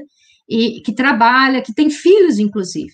E aí tem nessa instabilidade da juventude atual dos últimos anos, isso também em outras épocas que acontecia, se tinha muito essa questão de, olha, você casa, aí se separa, se divorcia, volta para casa dos pais. Então você volta a ter uma situação de solteiro, que é muitas vezes vinculado ao ser jovem, porque o casado já, já te coloca no, no, grupo adulto. Você tem, a gente tem muitas, muitos jovens que são jovens porque são desempregados, porque vivem na casa dos pais, é, mas não, não estudo mais, que é um fator também que, que define alguém como da, estar na juventude, estar nesse, nesse processo de preparação, mas não estudo mais porque já terminou o ensino médio e não tem vaga na universidade. Algumas vezes continuo na casa dos pais, mas já tem filhos, então já, já é. Então tem essa situação que é muito dúbia. E aí, mesmo com, com uma coisa é o que diz a legislação, outra coisa é como cada sociedade, cada grupo entende aquele grupo. E aí tem aquela questão: olha, é, você ser uma mulher, você em situações limites você é cobrada como adulta. Em outras situações você é muito jovem. Né? Então, isso só se a gente falando na questão é, é, social e etária, não vou nem falar na questão do, da questão que, que é a simbologia da juventude, né? Que você vê, se você for olhar propagandas, muito na publicidade, tem muito essa ideia de que ó, você vai ser um eterno jovem se usar calça jeans, é, camiseta, se fizer é, implante de cabelo e não for careca, se fizer é, vários procedimentos estéticos, então tem, tem sempre o sonho da juventude. Tem uma, um, uma citação que o, o, o coloca é, naquele livro Orfeu Estático, que eu acho funda, muito interessante, que ele coloca uma situação do início do, século, do final do século XX, início do século, final do século XIX, início do XX, se não me engano, bem ali no início, que ele mostra como os, os rapazes de 20, 19, 20 anos, eles, é, naquele período, tinham todo o sonho de, de ser mais velhos, então eles usavam, deixavam a barba crescer, é, usavam óculos, muitas vezes sem precisar, usavam bengala, usavam toda a roupa, né? Então, a, a passagem do, da calça curta para calça comprida. Então, isso, há me, pouco menos mais de um século, é, você tinha todo um sonho de ser um adulto, né? O jovem queria ser um adulto, parecer mais velho. Hoje é o contrário. Então, a gente tem, em pouco mais de 100 anos, uma mudança muito grande na, na valorização de, dessa questão da idade, ou é, parecer mais velho ou parecer mais jovem. Antes você queria parecer mais velho, né? E tinha todos os produtos para parecer mais velho, inclusive é, produtos para escurecer os dentes, e aí vai, né? E hoje tem todo um, mercado e todo um, um, consumo em torno do parecer mais jovem, né? Então, isso também aparece muito. E é muito complicado você definir o que é jovem ou não, porque tem muitas coisas que não é etário. Não é porque você tem uma certa idade que você vai ser tratado como jovem. É, não é porque você tem a partir de todo que você vai ter tratado, porque tem aí tem várias simbologias que você tem que que tem que você tem que juntar, né? É, e também tem tá, cada contexto de, de, de, cada época e o que, que é valorizado como ser jovem, o que, que é valorizado como ser um adulto. Né? Então, isso são coisas. E aí fica muito difícil é, porque tem temas que são vistos como de jovens que, não, que são também de adultos, né? Então, é, e, e, não vou nem falar daquele período da adolescência, que aí é mais complicado ainda, que eles são, é, têm uma idade X, mas eles se acham com a cabeça de adulto, então já é outra questão, já não dá nem para entrar nessa questão. É uma construção histórica e, e, social, é, né, professor? Isso é toda uma questão so, histórica e social que a gente tem que entender, e que é muito complexo e que se atravessa outras questões, atravessa a questão é, da educação, da psicologia, da biologia, é um, uma coisa muito complicada mesmo. E o meu gato quer participar também da palestra. Que coisa boa. Professora Luciana, muito agradecido. As pessoas aqui estão dizendo que a sua exposição bonita, o Júlio, né? A, o Daniel também, aqui. Excelente debate. E aqui a gente se despede. Muito agradecido, professora Olga, muito agradecido, professora Luciana. Daqui a pouquinho vai começar o nosso próximo painel e a gente fica muito é. em tê-las conosco nesse nosso primeiro seminário do nosso GT Real. Felicidade, pessoal. Até a próxima. Agradecido. Até. Até a próxima a todos.